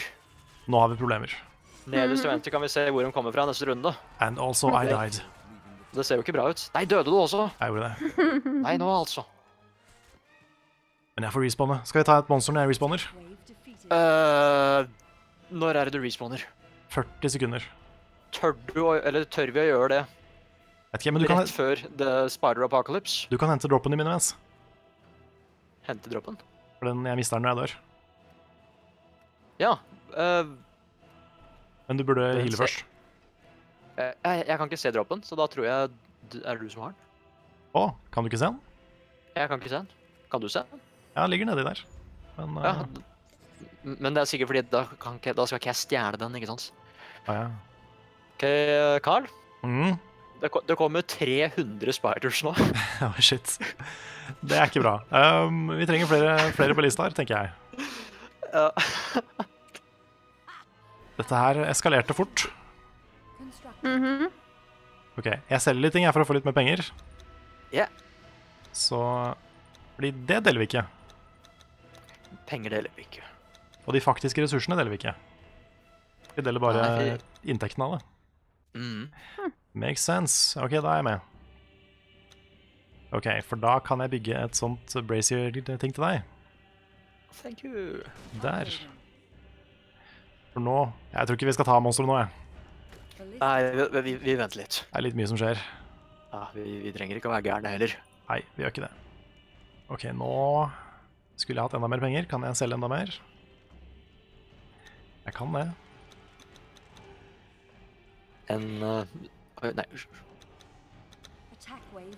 OK, Carl. Ja, Nå skjer det. Nå skjer det? Okay. Nå skjer det. huh, de er ikke kommet ennå, ikke sant? Nei, men de kan gå over fjellet, så Ja. har ikke noe å si nå. Nei, da må jeg bare sette opp en brazier til. Ikke sant? Ja, sånn. Ja. Ah, mm. Ah, det er sånn den derre Det som er så kult med det, er at den derre Husker dere The Long Night-episoden? Mhm. Rett før liksom shit gets crazy. Jeg føler at det, hver gang når det er en ny wave i Covenant, så er det liksom noe av det samme. da. Du bare Nei. venter på at det, Det Du kan jo ikke se dem før de liksom Mm. er helt inntil veggen vår. Nei, i hvert fall når det er sandstorm. Der er ekstra Der kommer de! Der kommer de! Der kommer de! Bort med Så dere var de rett på campen. De speiderne her har en vendetta mot den campen her, ass. Ja, sånn. Bort med dere. Ok, Dere. Jeg skal passe på campen din, Nick. Jeg ser Thank you. Simen, eh, det er skrevet flere hus. Dere har en inntil fem. Ja, jeg Vi burde nok kanskje ha mer hus. Ja. ser det. Vi må bare Eh, det, det som er at uh, Incomen vår er ikke et så stort problem, for vi selger veldig mye av materialene vi har. Mm. Så, så vi har kanskje ikke så mye innkom... Oi, oi, oi, Carl! Eh, masse sør her. Sør òg? Så vi har, ja, så vi har kanskje ikke så mye income eh, Åh, hver runde, men vi får av å selge. tror du ikke jeg bare gruste de? Oi, nå er det De er inne. Oi, oi, oi. Det er hos meg òg. Ja, det, det, det var jo det jeg sa, Carl! They're Nå- nå er everywhere. de sør. Oh, shit. Ja, men det- De var så sør. Ja, de var så sør. Allerede var kommet nesten til Kings sør Landing. engang. Ja. Det var fort. Men vi tok de, da. Det er noe, det er noe pacing i denne sesongen her, altså noe pacing issues. Ja. Men nå klarte vi å ta dem ut. Det gjorde vi. Nice. Skal vi ta, løpe og ta monsteret med en gang? Ja, nå tar vi monsteret med en gang. Yes. I am fully Gå. healed. Gå, Konan! Konan. Vent, da. Pause litt. Skal jeg oppgradere husene mine? Ja, det var bra at du sa. Men nå er jeg tom for, tom for money. Vent, da. Pi, pi, pi. Kanskje jeg kan oppgradere litt til. Brukte manis. Sånn. Jeg lov til en til. Sånn. OK. OK. It is time to kill a monster. On. Men du skal gå ut og ta monster? Yes. Mm. Dette er multitasking the game, ass. Ja, men vi er, jeg syns vi gjør en god jobb, ass. Nå er vi på wave 12. I can do Ja, nå kommer første boss, Carl. Neste Oi. wave. Prince Kulamun. Mm. Han har en kul, han har en kulemunn. Ja, en kule munn. Oi. Der er det sånne flyvere. De vil vi ikke ha med. Det går bra. Jeg sender mine grønne menn. Nice. Kanskje du får tatt dem med de. Mm. Å, Carl! Å nei, det kommer hele gjengen. Kanskje vi skal ta med han her vekk. Ja, gjør, gjør det. Mm. Gjør ikke det. Det var en hyggelig gjeng. G- og sånn. Her, her kan vi slåss. OK, OK. Make our stand. Ok, Green Men, dere tar f- flyverne. Nei, ikke gå tilbake igjen da, boss. Ikke røm. Og så kommer de, vet du, de the bastards. Nei, vet du hva? Ja, Da, da, da, da slåss vi. vi slåss. We Oi. fight. Oi, oi, oi. Det er to store og Nei, tre store og to små. Eh, Ja, bare sett på Ringnes herre-musikken, for nå skal vi, nå skal vi vinne. ja. Hvor er de OP spøkelser som kan hjelpe oss å vinne? Ja, hvor er de igjen? Det, det var i hvert fall enkelt. Ja, oi, jeg tror jeg må retreate litt. Ja, All right. Or I'm gonna die. Ikke dø da, da er det ikke noe gøy. Nei. Skal vi Nei, han følger etter, han følger etter deg. Ok, Oi, Full sail ahead. OK. Jeg burde hente den, eh, den eh, tingen min. Buffen min. Ja. Hva, hva gjør den egentlig, den du har nå? Jeg tror det er en sånn area of effect eh, attack Ah, som jeg kan bruke når jeg vil. Hvis ikke jeg misforsto.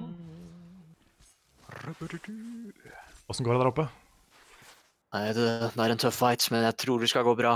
Jeg må Bra. bare få ut denne scorpionen før det er for sent. Hvis ikke så Hvis ikke så klarer jeg det ikke.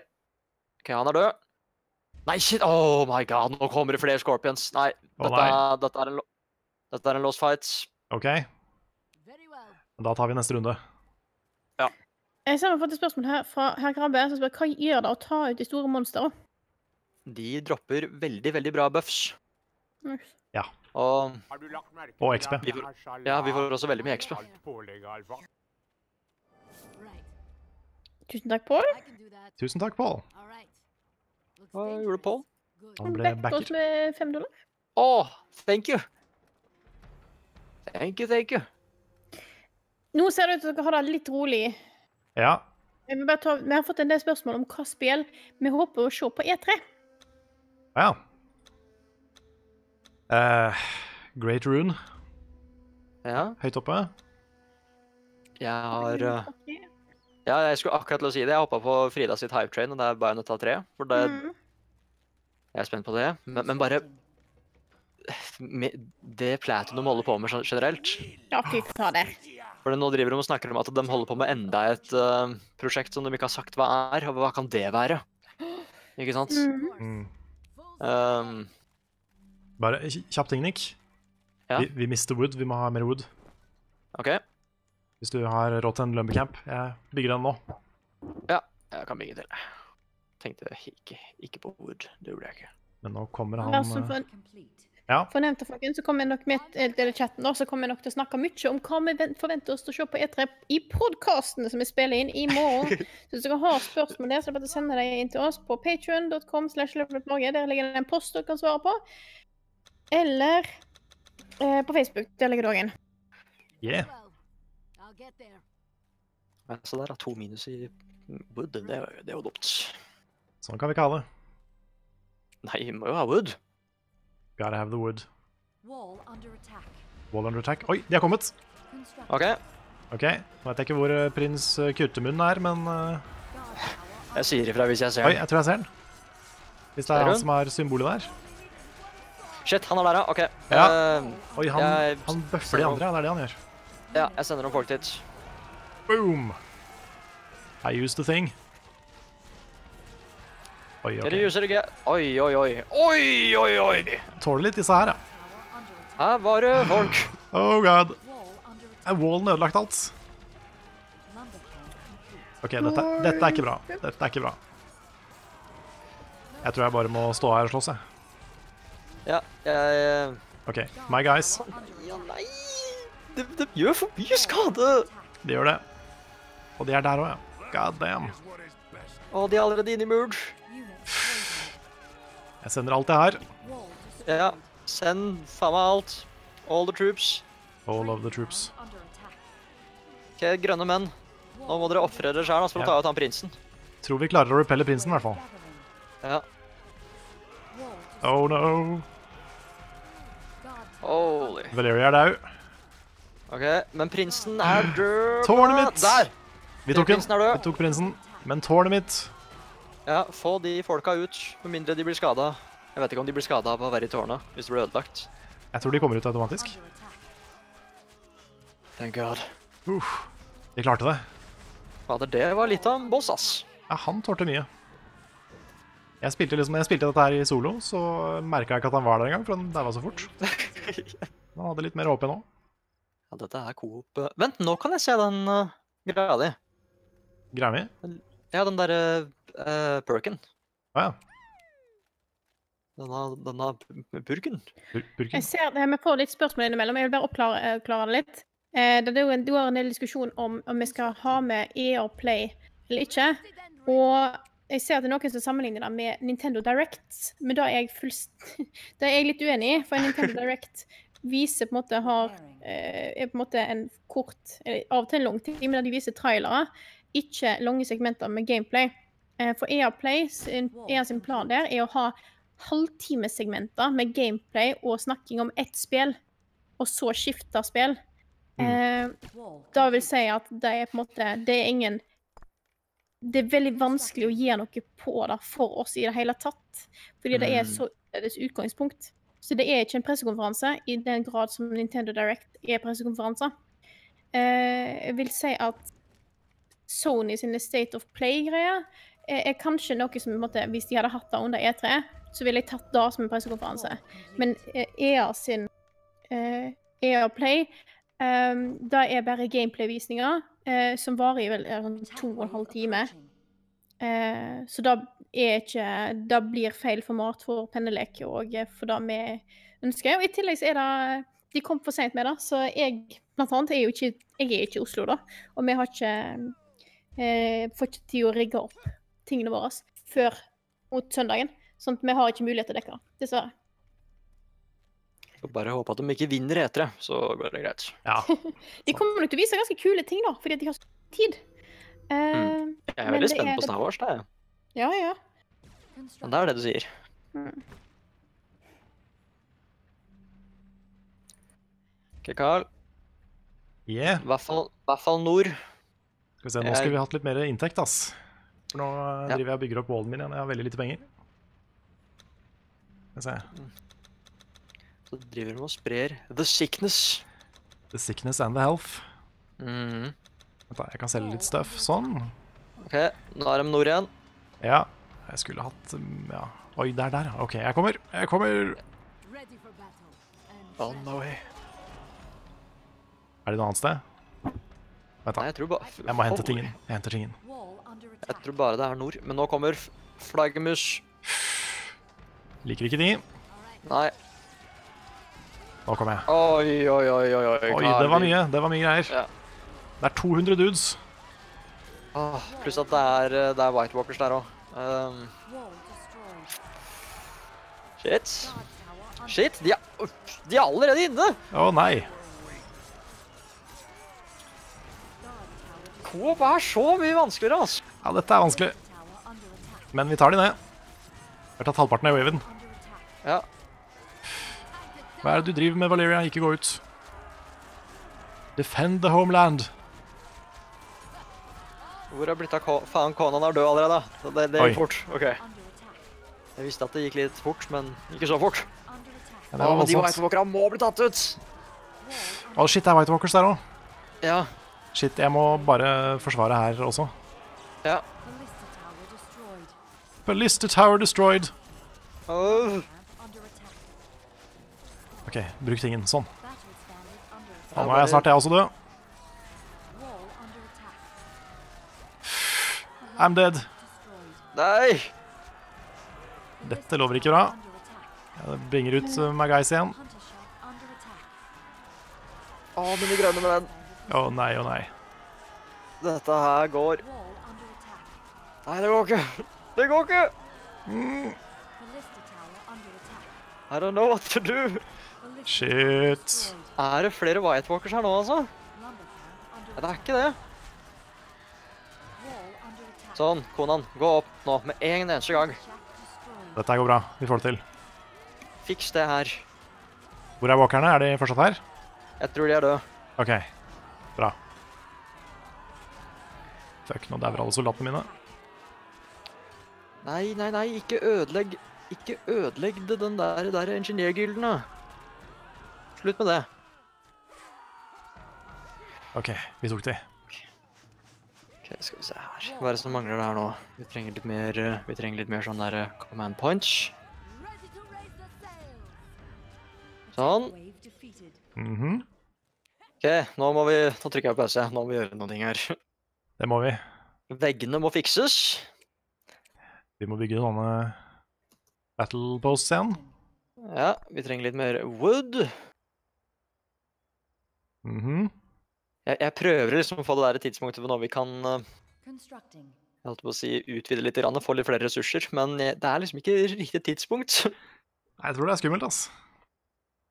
Eller bare bygge by- Bygge ting Mhm. inni basen. Bygger jeg litt mat her. Jeg trener til nye sånne javelins. Hvordan går det her, gjengen? Wave 14, det er bra? Ja, det, men det blir stadig vanskeligere, da. Ja. Det er jo Så- sånn det er med sånne wave-greier. Det er det. Så dette er litt skummelt. Men uh, nå ser jeg de kommer nedenfra, så da kan vi heller fokusere på å legge alle folka mine der. Mm. Ok. For da, da tror jeg du bruker en del av maten nå til å lage her. Ja. Sånn, for da har du her der, du er her der. For jeg, jeg mista nesten alle mine grønne menn i, Oh shit. I Wave 13-hendelsen. Ja. Oh, OK. Ole Kri har, eh, eh, har gjort noe genialt. Okay. Han har lagt til eh, Han har laga en Google-kalender som du kan legge til din egen kalender. Der det kommer opp alle tidspunkter som vi går live, og hva konferanser som kommer. Så hvis dere Ah, trykker på den, så trykker du på 'legge til kalender', så blir den lagt til i deres egen kalender. Ole Kri. Thank you. That's very smart. Det er clever. Clever.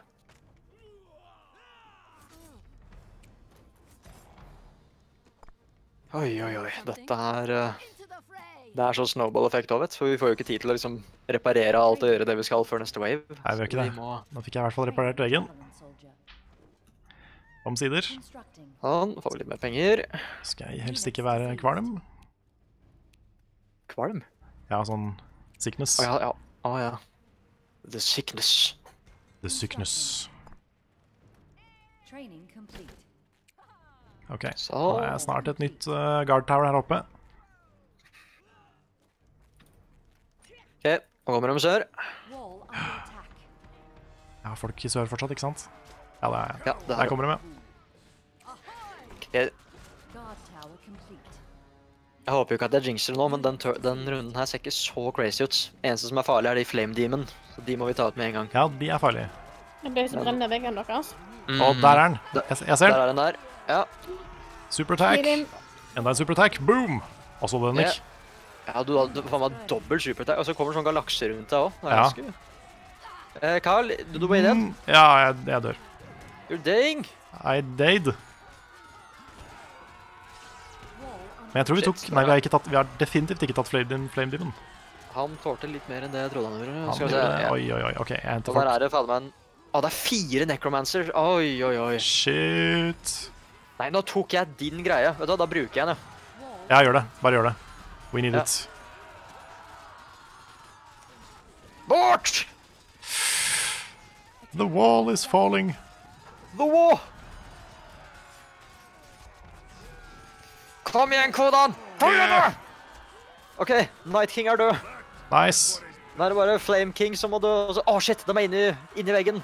In, inni veggen, sier jeg. Inni basen. Inni i basen. Er Men fl Flame Demon er død. Nice. Ja, men det her gikk fint. Ja, Flame Demon er Flame Dead. Åh. Flame Er det, Deadman. mulig å, er det mulig å være flere enn to stykker spiller sammen, eller er det maks to player? Jeg tror det er maks to player. Ja, maks to. Sånn, Der, vet så healer vi. OK, neste wave nå, den Mm. er litt, den er litt verre. Det er heldigvis ikke noe sånn superovernaturlig, men det er katapulter der. OK. Rekker vi å ta monstermannen? Nei, Nei. absolutt ikke. OK. But I wanna kill the monster. Ja, ja, I know- I know you do. Think, of, think about your mother. Ja, ikke sant? Wall complete. Det er sånn, det sier egentlig bare hvilken situasjon vi er i nå. Vi er nødt til å være her og passe på. Ja. Du har et poeng. Nå kommer de, skal vi se, der oppe. Ok, så det er høyre sida som er, som er verst. Soldier. Jeg har folk på venstresida òg, men uh, burde vi ha flere Kommer det mange fra den lille, lille, lille inngangen? Uh, her på høyre. Ja, Eh, nå kan det komme en del, ja. For det er litt lite med bare to folk i det tårnet. Ja, jeg, jeg sender flere nå. Det er det. Ok, Ja. Have no fear. Have no fear. jeg skal, skal sende. Amy Rose is here, som er et sitat fra uh, Sonic Adventure 2 Battle. Jeg kan alle alle eh, all dialogen utenat. Yes. Det er rask. Det. Er sånn Sitat fra Sonic Adventure, issue 45, page.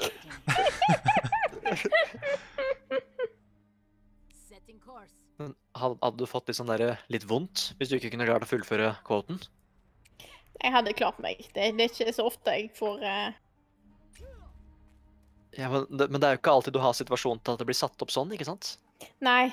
Så det, det, går, det går fint. Jeg sier det ofte Mm. inni meg. Ja. Mm.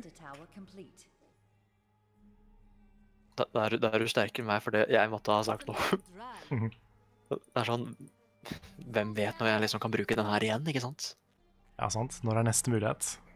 Mm. Det er derfor den der Out of War er så gøy, når vi får brukt den. Eller McQueen. McQueen.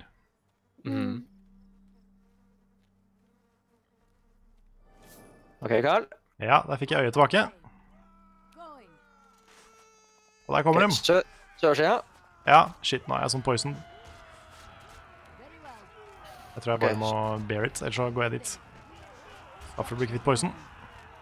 Ja, så tar jeg OK, vent, vent da, høyre, høyre var ikke så Det var ikke så crazy, så jeg går tilbake igjen. Takk for hånden. OK, nå er jeg klar. OK. Holdt på å si der er satellitt, der er katapulter. Da må vi De må ta oss med en gang. Oi, the frame rate, though. aller... Oi, oi, oi, de har allerede ødelagt porten. Å nei. Under attack. Jeg kommer til å dø, jeg, med en gang. Oh my god. Ooh. nei. This is so difficult. This is tough. Og venstresida er jo Der er det også ting. Er det ting der òg? Masse. Å nei. OK, jeg tror dette er over, jeg.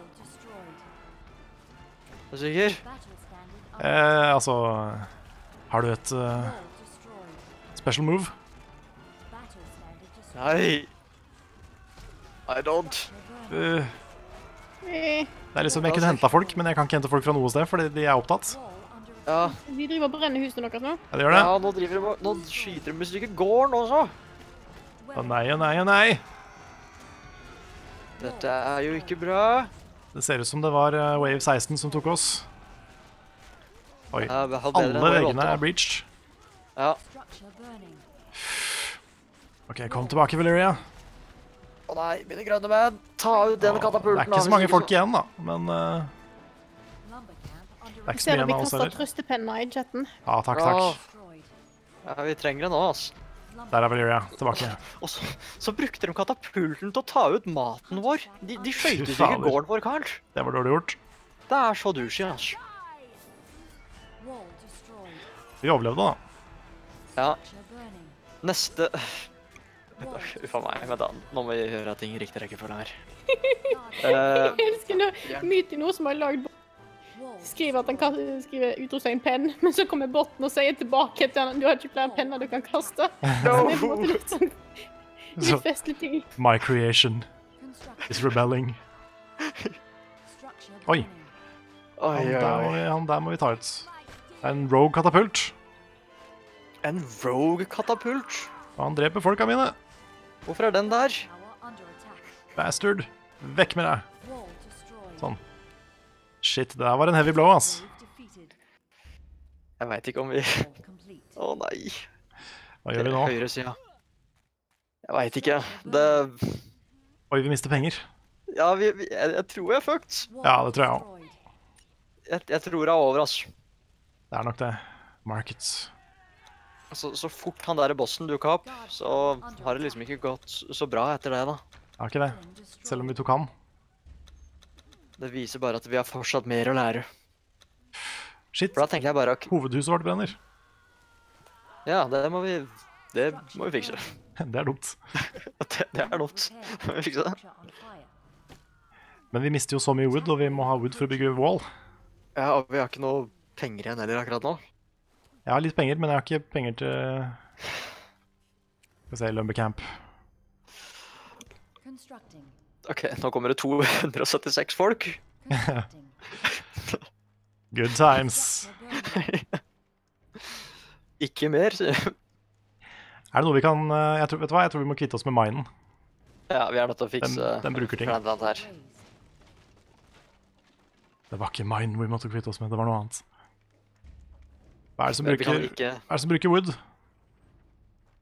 Uh, Åh, Husa våre gjør jo det, så klart. Men da mister vi penga våre. ja, vi kan jo ikke det. Ok, Jeg kan fjerne noen, da. Hmm. Oi, oi, oi. Men nå driver jeg og lager en lumbercamp, da.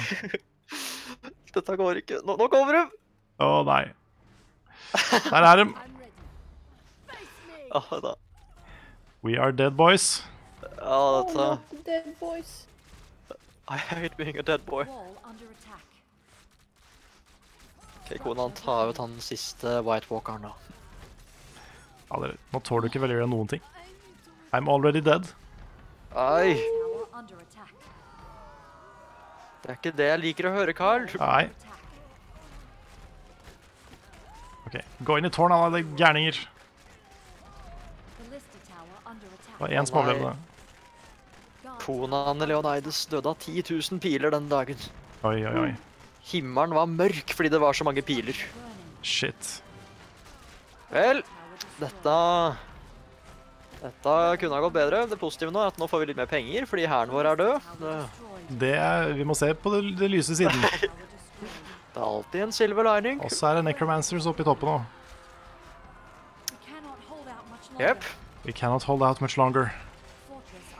Nei, Tenk, Hadde det vært siste wave, så hadde det vært spennende. Men nå er det ikke så spennende. For det nei. er, det er sju waves til. Vi er så vidt over halvveis, liksom. Ja, det er det ikke. Vi er langt over halvveis. Ja, jeg trodde det var 30 et lite øyeblikk nå. Det, det skulle tatt seg ut. Det skulle tatt seg ut. OK, Ah, Valeria's back. ja, jeg er tilbake om 15 sekunder, men uh, Die with honor. Og nå kommer den fra høyresida. Oi, oi, oi. Ja, jeg må bare ta det jeg først. What is dead may never die and such. That Kommer jeg makes- ut. That makes no sense. Det betyr bare at du er, du er bedre enn menneskene som dør, ikke sant? For du, du, du er allerede død. This is it, Nick. Og kommer tilbake. It was an honor. It was an altså. We are defeated. Søren! God damn it. Hva kunne vi ha gjort annerledes?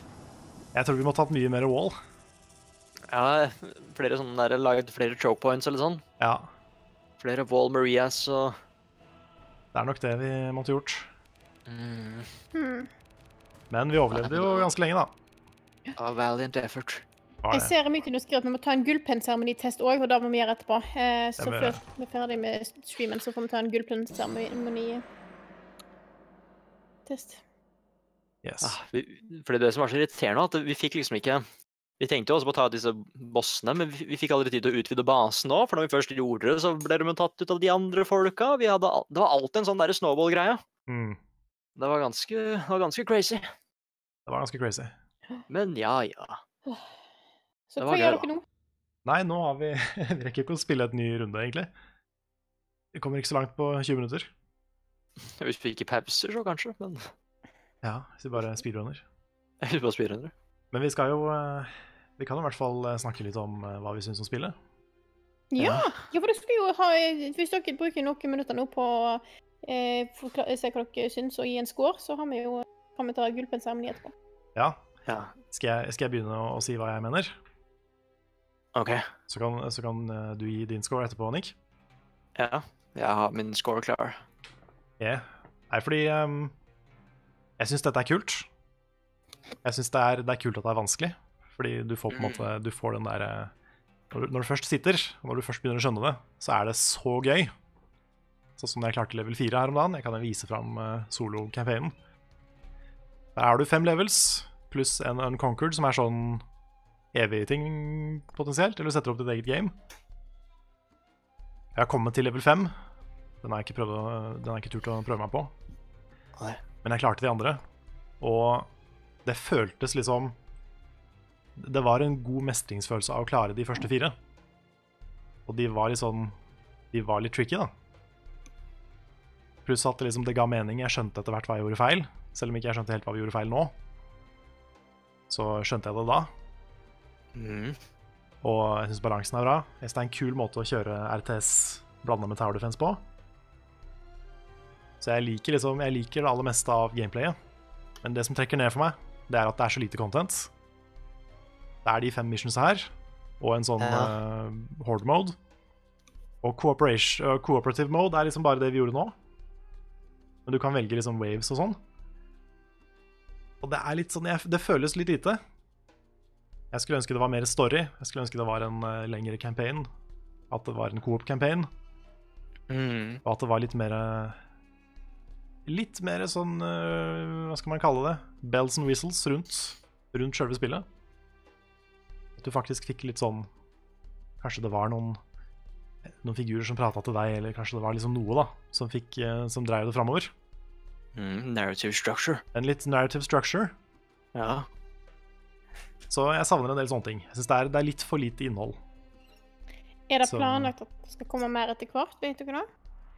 Det er noe delelse de har drevet og prata om, i hvert fall. Men om det er gratis eller ikke, det vet jeg ikke. Ja, det er jo en ting, ja. Mm. Så um, Scoren jeg ender opp på, da, det er en uh, Det var en åtte, men etter å ha spilt litt mer, så ligger jeg nå på en uh, Den når så vidt opp til en sjuer. Så vidt opp til en sjuer. Yes, Mm. that's me. Dæven. OK, Mm. Mhm. da får jeg si hva jeg mener, da. Ja. Fordi det jeg liker aller best med det, er at det er, det er civilization elements i det. Mm. Med at du researcher og basen din blir bare bedre og bedre og mer utvikla jo lenger ut i disse wava du kommer, ikke sant? Så plutselig så lærer du Du starter med sånne der spydfolk, men så blir de archers, så blir de enda sterkere archers. Får bedre tårn, kan bruke stein, kan bruke metall. Jeg liker veldig godt den der gradvise progresjonen du har i basen. Og det er derfor jeg liker at liksom, ting du må jobbe med, ting du må holde styr på mens du er i krig, eller liksom mellom waves, er at ja, kanskje ting brenner, kanskje du ikke har nok wood, nok stein. Altså, det er veldig mye som foregår hele tiden, ikke sant? Det er liksom ikke noe dødtid. Det er alltid noe å finne på, ikke sant? Mm. Men eh, jeg, jeg syns fortsatt at fem nivåer i denne campaignen er for lite. For de har sagt at de skal fokusere mer på at du kan lage dine egne challenger og sånn. Jeg veit liksom ikke om det har å gjøre med om du kan lage dine egne kart eller et eller annet, men det er veldig mye nå fokus på at eh, spillet skal være generert av fansen, da, av de som spiller. Så her har vi liksom en story mode som funker som en svær tutorial, men det er liksom ikke så mye mer. Og det blir enda mer irriterende med at det ikke er en co-op story. For vi spiller jo bare til en helt vanlig match nå, bare co-op. Mm. Og det er jo så mye mer morsomt å spille sammen med andre. Men når det liksom kommer til gameplay, så liker jeg det veldig godt. Jeg kunne ønske det var litt mer variasjon på fiender, da. For vi har jo faktisk slåss mot nesten alt. Jeg, jeg Ja, tror det liksom det eneste, det eneste vi ikke har, er vel noen par unike bosser eller sånn. Men uh, vi, vi var jo heldige at vi møtte ikke på noen slanger eller noe sånt her, men vi har slåss mot alt, sånn egentlig. Og det Conan-universet er så veldig, veldig stort, så jeg kunne ønske det var litt bedre variasjon på det, da. Det er liksom mange sånne derre demo... På å si demoniske ting og sånn. Som is og sånn Cthulhu-greier. Jeg kunne ønske det var mer av det, da. Jeg har kanskje litt mer forskjellige typer maps også. Ja. For det er bare én type map. Mhm. Nei, så jeg liksom Jeg sier ikke at det føles ut som en sånn svær betatest, det gjør det ikke. Men det mangler helt klart innhold. Og, jeg, og det er så Det er så wasted potential når du har den artige co-open. At de ikke har lagd noe mer rundt det. Nei, så jeg, så jeg, jeg er jo Jeg elsker gameplayet, men det er liksom ikke nok her til at jeg kan bruke det på, da. Og i hvert fall ikke når det kommer til co-op. Så, så jeg, jeg jeg holdt meg også på sju, men jeg er, jeg er litt nærmere sekseren, jeg, da. Okay. Ok, akkurat de greiene der. ja. Ja, for det er, det er med den at eh, Nesten som jeg sa i Rage òg, jeg digger gameplayet, men det er liksom ikke nok for meg å gjøre med det, da. Jeg trenger litt mer. Mm. En lengre historie som du snakker om. Mer co-op content. ja, sant. Altså, nå har vi ikke testa liksom dette challenge-moden med at du kan lage dine egne challenger og sånt, men for meg så er det ikke det som liksom kommer til å få meg å fortsette å spille, da. Nei, det er noe med det at jeg har mer lyst på en sånn skreddersydd opplevelse enn at andre som har spilt det, har laga en challenge, Mhm. rett og slett. Ja, nei, så akkur akkurat nå så, så er jeg nok litt nær... Jeg, jeg, jeg vippa liksom mellom seks og syv. Da, da går jeg en ned. Mm. Så da, da vil det si at det ble en sekser fra Nick og en sjuer fra meg. Ja. Ser Zakaria som spør er dette på nivå med Draugen. Det kan ikke sammenlignes med Draugen. Det er Nei, to så forskjellige spill, så det kan man ikke gjøre. Nei, det er det, det, det, er- det er litt dumt. Med en gang det er to ulike sjangre, så kan du ikke sammenligne. Nei, det blir for Nei. vanskelig. Det blir litt sånn sammenlignet mobilspill med Skyrim, liksom. Mm. Men øhm, nei, jeg endte opp på sjueren fordi jeg fortsatt syns det er en veldig veldig kul og bra opplevelse. Det er derfor det trekker liksom litt opp for meg. da. At det var, øh, Mm. Dette er et spill jeg kommer til å huske på slutten av året. liksom. Ja, altså, jeg kommer nok til å gjøre det òg, men jeg bare Jeg har fortsatt lyst på mer, da. Mer innhold og litt sånn. Mm. For det, for det er å si at det, det beste øyeblikkene er når du liksom knekker koden. Du vet hva du gjør feil, du vet hva du kan gjøre for å Jeg sleit jo så mye på level 4, liksom. Men så fort jeg liksom visste åssen jeg skulle utvide basen og ta hånd om ressurser, så gikk det jo dritbra. Jeg eide jo den siste leveren der, liksom. Mm. Men uh, jeg kan bare gjøre det én gang til level 5 nå, og så er det liksom ferdig, da. Og det beste er jo å spille co-op, men jeg føler at det er fordi jeg spiller med Carl, ikke sant? Ja, det er gøy å spille med Nick, ikke sant? Det, åh. Jeg vet ikke om, Det er ikke sikkert det hadde vært like gøy å spille co-op med en øh, random stranger som ikke hadde voice chat. Nei. Nei, så det er derfor jeg Derfor jeg havner på sekseren. Mm. Men men Carl, da bare slår vi sammen sekseren og sjueren, så sier vi åtte. Og det er bare Ja, ikke sant. Det blir riktig. Gjør, ja, gjør det enkelt, vet du. Ja, 15 av 10. Mm, men, det er, men jeg tror liksom at det, når du kommer til å lage topp ti-lister neste år, det er, jo, det er jo ikke mulig at det faktisk havner på lista, fordi jeg er så glad i den sjangeren. Mm. Ja. Og det, og det er det liksom Du nevnte også, Carl, at det, det er så veldig lenge siden det har kommet et sånn RTS som jeg kan sette meg såpass fort inn i. Mm. Og jeg er veldig glad i den der survival-vrien. Ja, jeg også liker den. Den Ja, hovedideen, liksom. Ja, det er derfor det er så slitsomt og irriterende at det ikke er nok variasjon i fiender og maps og Det har vært liksom forskjellige vanskelighetsgrader på de ulike nivåene, men vi har jo gjort det samme hele tiden. Finn et choke point, vi er i ørkenen, finn ressurser, og det er det. Ja, det er sant. Hvis det kunne liksom vært noe, noe mer til det, så hadde jeg kost meg enda mer. Same. Jeg ser det er noen som nevner eh, Nei, hva skulle du si? Ja, kanskje jeg går opp til en sånn sjuer etter hvert, men akkurat nå Mm. Med mindre jeg liksom får en sånn åpenbaring når jeg spiller det siste, siste brettet.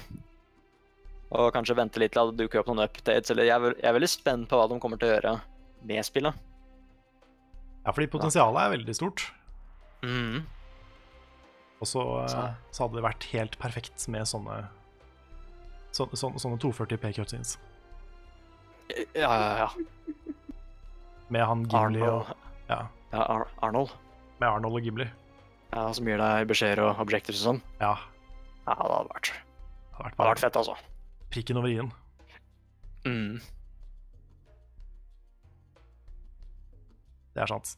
Det er riktig som Ram sier, at vi, eh, vi anmelder ikke basert på updates, men vi, eh, nå sitter vi bare og snakker om at det kan Det er et potensial her for at det kan komme ting. Mm.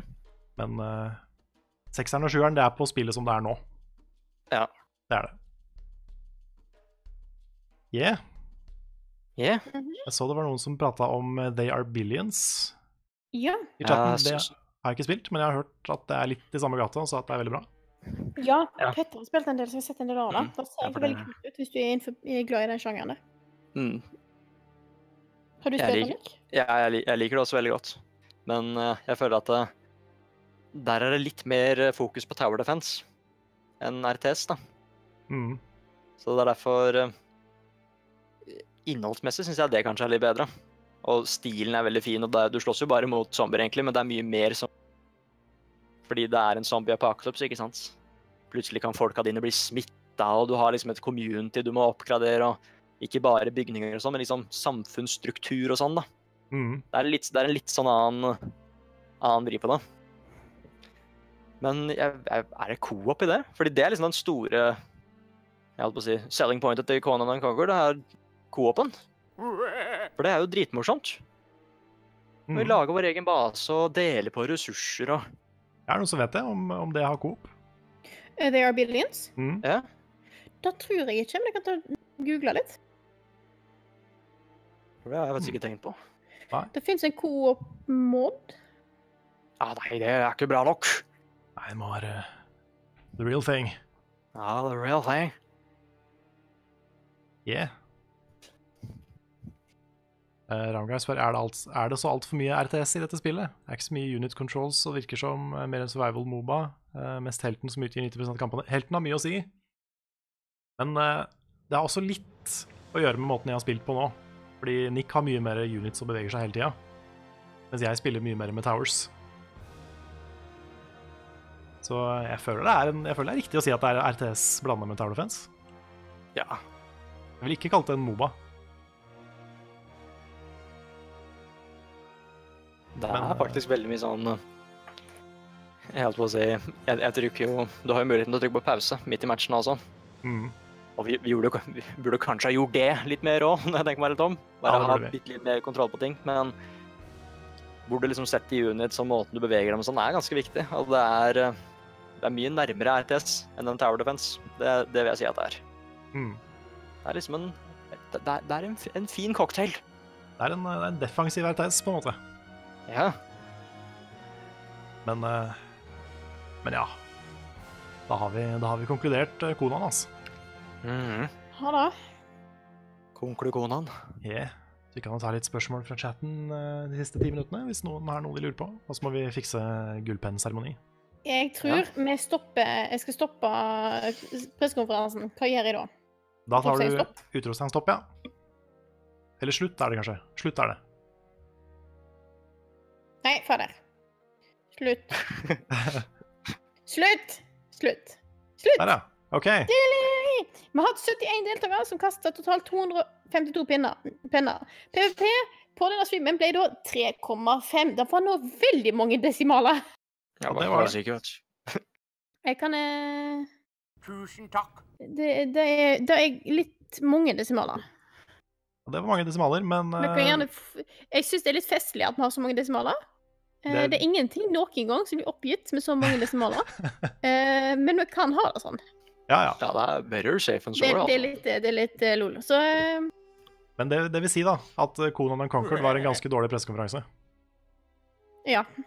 Så det var bare tre Det og var en litt, halv nei, penn. nei, nei, nei, nei. Det var lite hype. Ja, ja, Mm. Det var det, vi gjorde gærent, Carl. det er det. Vi hypa, vi hypa det ikke nok. Vi skulle hypa det mer. Mm. Vi skulle, vi skulle pausa før hver wave og sagt sånn herre OK, nå kommer han derre kongen. Han, mm. han Kuttemunn, eller hva han het. Kurtebøen. Ku- Og så bare wow, har vi noe hype i chatten? Og da kommer pennene, ikke sant. Ja. Ja, ja. Så vi skulle playa mer to the audience. Det er det som mangla. Mm. Da lærer vi det til neste gang, ikke sant? Ja, Mm. sant. Men eh, da lurer jeg på hvordan eh, Gullpennseremonien? eh, Ja. Ja. Eh, hvordan var det her, da? Jeg kan, eh, det er så skummelt å gå ut av. Jeg kan kanskje gå ut av full screen nå. Skal vi se. OK. Nå blir det kanskje litt sånn fucka lyd igjen. Det får vi bare leve med. Are, are we safe? Are we back? Jeg tror det gikk bra. Mm -hmm. Ja da, vi er fortsatt live. OK. Nice. Det du gjør da, Frida Yes. Skal se her. Skal jeg bare finne the instructions. OK. Før vi starter gullpennseremonien, Ja, skal vi fortelle hvordan gullpennseremonien funker? Det er lurt. Ja. Um, OK. Tingen er, når E3 er ferdig, og alle pressekonferansene har fått en PPP og et antall penner, så er det litt sånn som slutten av Mario Party, hvor det kommer noe ekstra liksom, eh, poeng til slutt, og det er gullpennseremonien. Og gullpennen er verdt tre penner, og du gir den ikke til en ting, men du gir den til en pressekonferanse. Den du mener var best. Mhm. Og det kan være fordi den viste det kuleste spillet, eller det kan være fordi den bare generelt var best. Det er det du som bestemmer. Men du har én gullpenn, og du må bare gi den til én. Så det er gullpennseremonien. Så det kan liksom påvirke scoren helt på slutten, ikke sant? Og det har skjedd at gullpennseremonien har avgjort hvem som vant E3. Det er sant. Spørsmålet er hvordan gir de gullpenn? Det, først så må du starte uh, utropstegn gullpennseremoni, Da gjør jeg det. og så skriver du mellomrom og alle konferansene. Og da kan du, du kan, da kan du finne på fem forskjellige konferanser med mellomrom. Ja, OK, så vi har uh, Nå har vi jo hatt uh, uh, P1. Vi har hatt P1. Kan vi Eh. ha Max Mekker, kan vi ha. Max Mekker. Level up. Eh, hei og bacon. Yes. Der, vet OK. du. Nå vet du. Du har én gullpenn du kan kaste. Hvert tre penner. Skriv utropstegn gullpenn, og så konferansenavn. Yes. Du ikke skriv utropstegn bacon, altså, selv om du har lyst til å stemme på bacon. Så du kan skrive eksempel utropstegn gullpenn, mellomrom Max Mekker, hvis du syns Max Mekker hadde den beste gull- gullpennseremonien. Så her er mye forskjellig. Mm. Bacon gjør det bra. Mm. Jeg er ikke overraska over at bacon gjør det bra, da. Det gjør som regel det. Ja, bacon, vet du. Nesten feigt at jeg er med. Ja. Mm. Oi. Oi, Se Max Mekker holder inn stemmer, da. ja. Det var mer gameplay der, vet du. Ja, Ja. det var det. Og så er det noe koselig med den der de- Max Mekker-streamen-konferansen. Den er liksom alltid litt sånn hyggelig. Ja, den er det. Mm. Det er sant. Og så er det viktig at man, skriver, at man skriver det riktig, ellers så blir det ugyldig, eh, ugyldig conference name. Max Nice. Da, når folk har eh, stemt, så kan vi avslutte. Ja. Jeg gir folk et par sekunder til. Én To Jeg vet ikke hvordan jeg slutter nå. Jeg tror det bare er uh, slutt. Utropstegn slutt. OK. Da Da da blir det en gullpenn. Slutter nå om tre, to, én slutt. Der, vet du. 34 gullpenner ble kasta. Mm. Ganget med tre har vi følgende poengfordeling. Så pen 12, Max Mekker 51, Ah, shit. Level up 15, Hei 3 og Bacon 21. Ja. Det vil si at Max Mekker eh, var nok den som vant E3 i 2019, altså. Ja, men de, de sto på, altså. Men er det ikke Egentlig så burde jo dette her gå videre, og så Ja. Nei, vet du hva? Det, det er too much. Eh, vi regner det ut på en annen måte innad i redaksjonene vi gjør i chatten. ja Max Mekker har, eh, vant, eh, vant eh, E3 for chatten. Det gjorde den. Mm. Og vi har fortsatt, vi har fortsatt den uh, søylegreia fra i fjor. Mm. Så det vi kan gjøre, er at vi kan bare veldig enkelt plusse på antall penner i pressekonferansene på slutten. Sånn at det syns på søylene. Og så kan vi gjøre det både for oss og for chatten, ikke sant? Så får vi Ja. liksom søyle per eh, konferanse og per chat, og jeg kan sitte og gjøre det på telefon. Oh, shit. Så det er high-tech, altså. Pennereken har blitt så sykt high-tech. Ja. Ja. Nå har vi to Tusen forskjellige takk, programmer eh. som styrer pennereken. Oh. Det begynte som en teit idé for tre år siden. Fire år siden. Not so tight anymore. Not so tight anymore. Så må vi jo da selvfølgelig si tusen, tusen takk til uh, Mytino, som har fikset det for oss. Det må vi. Det er utrolig kult gjort. Asbjørn. Asbjørn. Veldig, veldig kult gjort. Og uh, gøy at vi kan ha litt sånne ting. Litt eh, chat interaction. Så blir det jo eh, Test nummer to blir jo da på Microsoft, så vi får bare se hvis det er noe som, hvis det er, noe som er feil, så må vi fikse det underveis, eller, eh, eller noe sånt. Men eh, Mm. det ser ut som ting funker. Jepp. Så, um, så jeg blitt spurt, eh, har blitt spurt tidligere òg, men jeg straks opplever om det blir overtrådt brettspill i år. Det er ikke planlagt noe. Det er alltid det er vanskelig å si, for det er ikke så mye tid mellom konferansene alltid. Så eh, hvis det skjer, så er det spontant. Mm. Det er det. Mm. Jeg så så mange spurte om Draugen. Vi har jo spilt det, vi. Vi prata litt om det i podkasten forrige uke. Har du spilt det, Nick? Uh, nei, jeg har ikke spilt det ennå. Anbefales. Yes. Jeg, jeg, jeg, må jo nesten det, altså. It's a, it's a, good, it's a good one.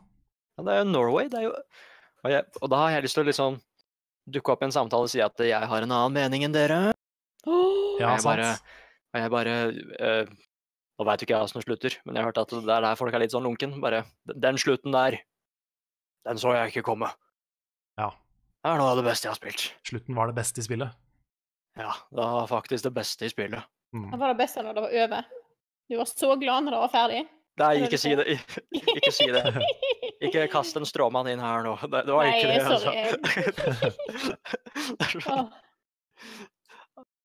Nei, nå tapte jeg diskusjonen. Nei, nå, nå, nå går det ikke. Nei, sorry, Nick. Det var ikke meningen. Du kan, kan ikke komme tilbake fra det. Men nei, jeg, det går fint. Men jeg skal få jeg skal få spilt Dra- Draugen, men jeg ble så veldig uh, spent på dette her eh, Outer uh, Ikke Ja. Outer Worlds. Wilds? Outer Ja. Wilds, ja. ja, for det, det var jo super science fiction, exploration, mystery shebang.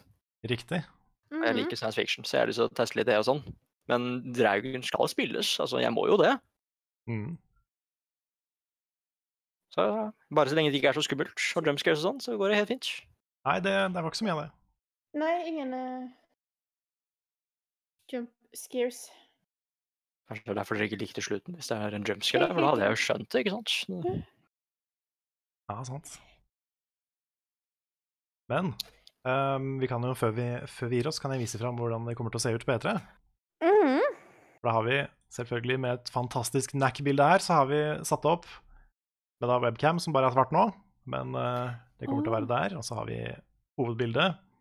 Jeg har laga sånn her E3-logo med penner bak, ikke sant, i sånn kryss, shit. som henger på veggen, ikke sant. Men eh, Også. hvor kommer søylene? Søylene kommer, det kan jeg vise fram. Det vil si, de fins Ja. ikke ennå. Det kan Nei, jeg ikke vise okay. fram. Men de kommer her på Ja, det syns kanskje ikke på streamen. Men de kommer liksom langs der hvor det står NAC. OK. På andre sida der hvor du har uh, countdowns. Mm. Men de skal ikke være på hele tida. Det er bare sånn av og til. Nei. Ja, det er bra. Så har vi penne, pennekast under der, så ikke det er i veien. Og Patrion-navn. Ja, dette er litt av en hødd, altså. Mm. Det, blitt, eh, det blir bare mer og mer hødd. Mm. Til slutt så ser vi, opp, ser vi ut som en sånn der, eh, 90-talls eh, pop-up-infisert PC. Jeg ser meg liksom om tre år så har vi liksom pulsen til hver eneste person i redaksjonen. ja. Sånn grafer for puls, ja. Ja, og health bar på også. Ja, ja. Trøtt bar. Og Max Mekker som kommer inn og liksom slår penner ut i lufta. ja. Med, med stemmen til Geir Børresen. Faen, har vi fått med. ja, altså, jeg, jeg tror det. Ideen er for god, ikke sant? Frida starta en spontankonferanse. Hva?! Jeg ville teste. Oh no! Kom, jeg ville se om det skjedde noe i, i ikke det, bare kast opp penner! Det er Kast, kastet penner. Oh my god. Det skjedde så lite, så jeg måtte sjekke. Ja, nice. Mm. Se her, da.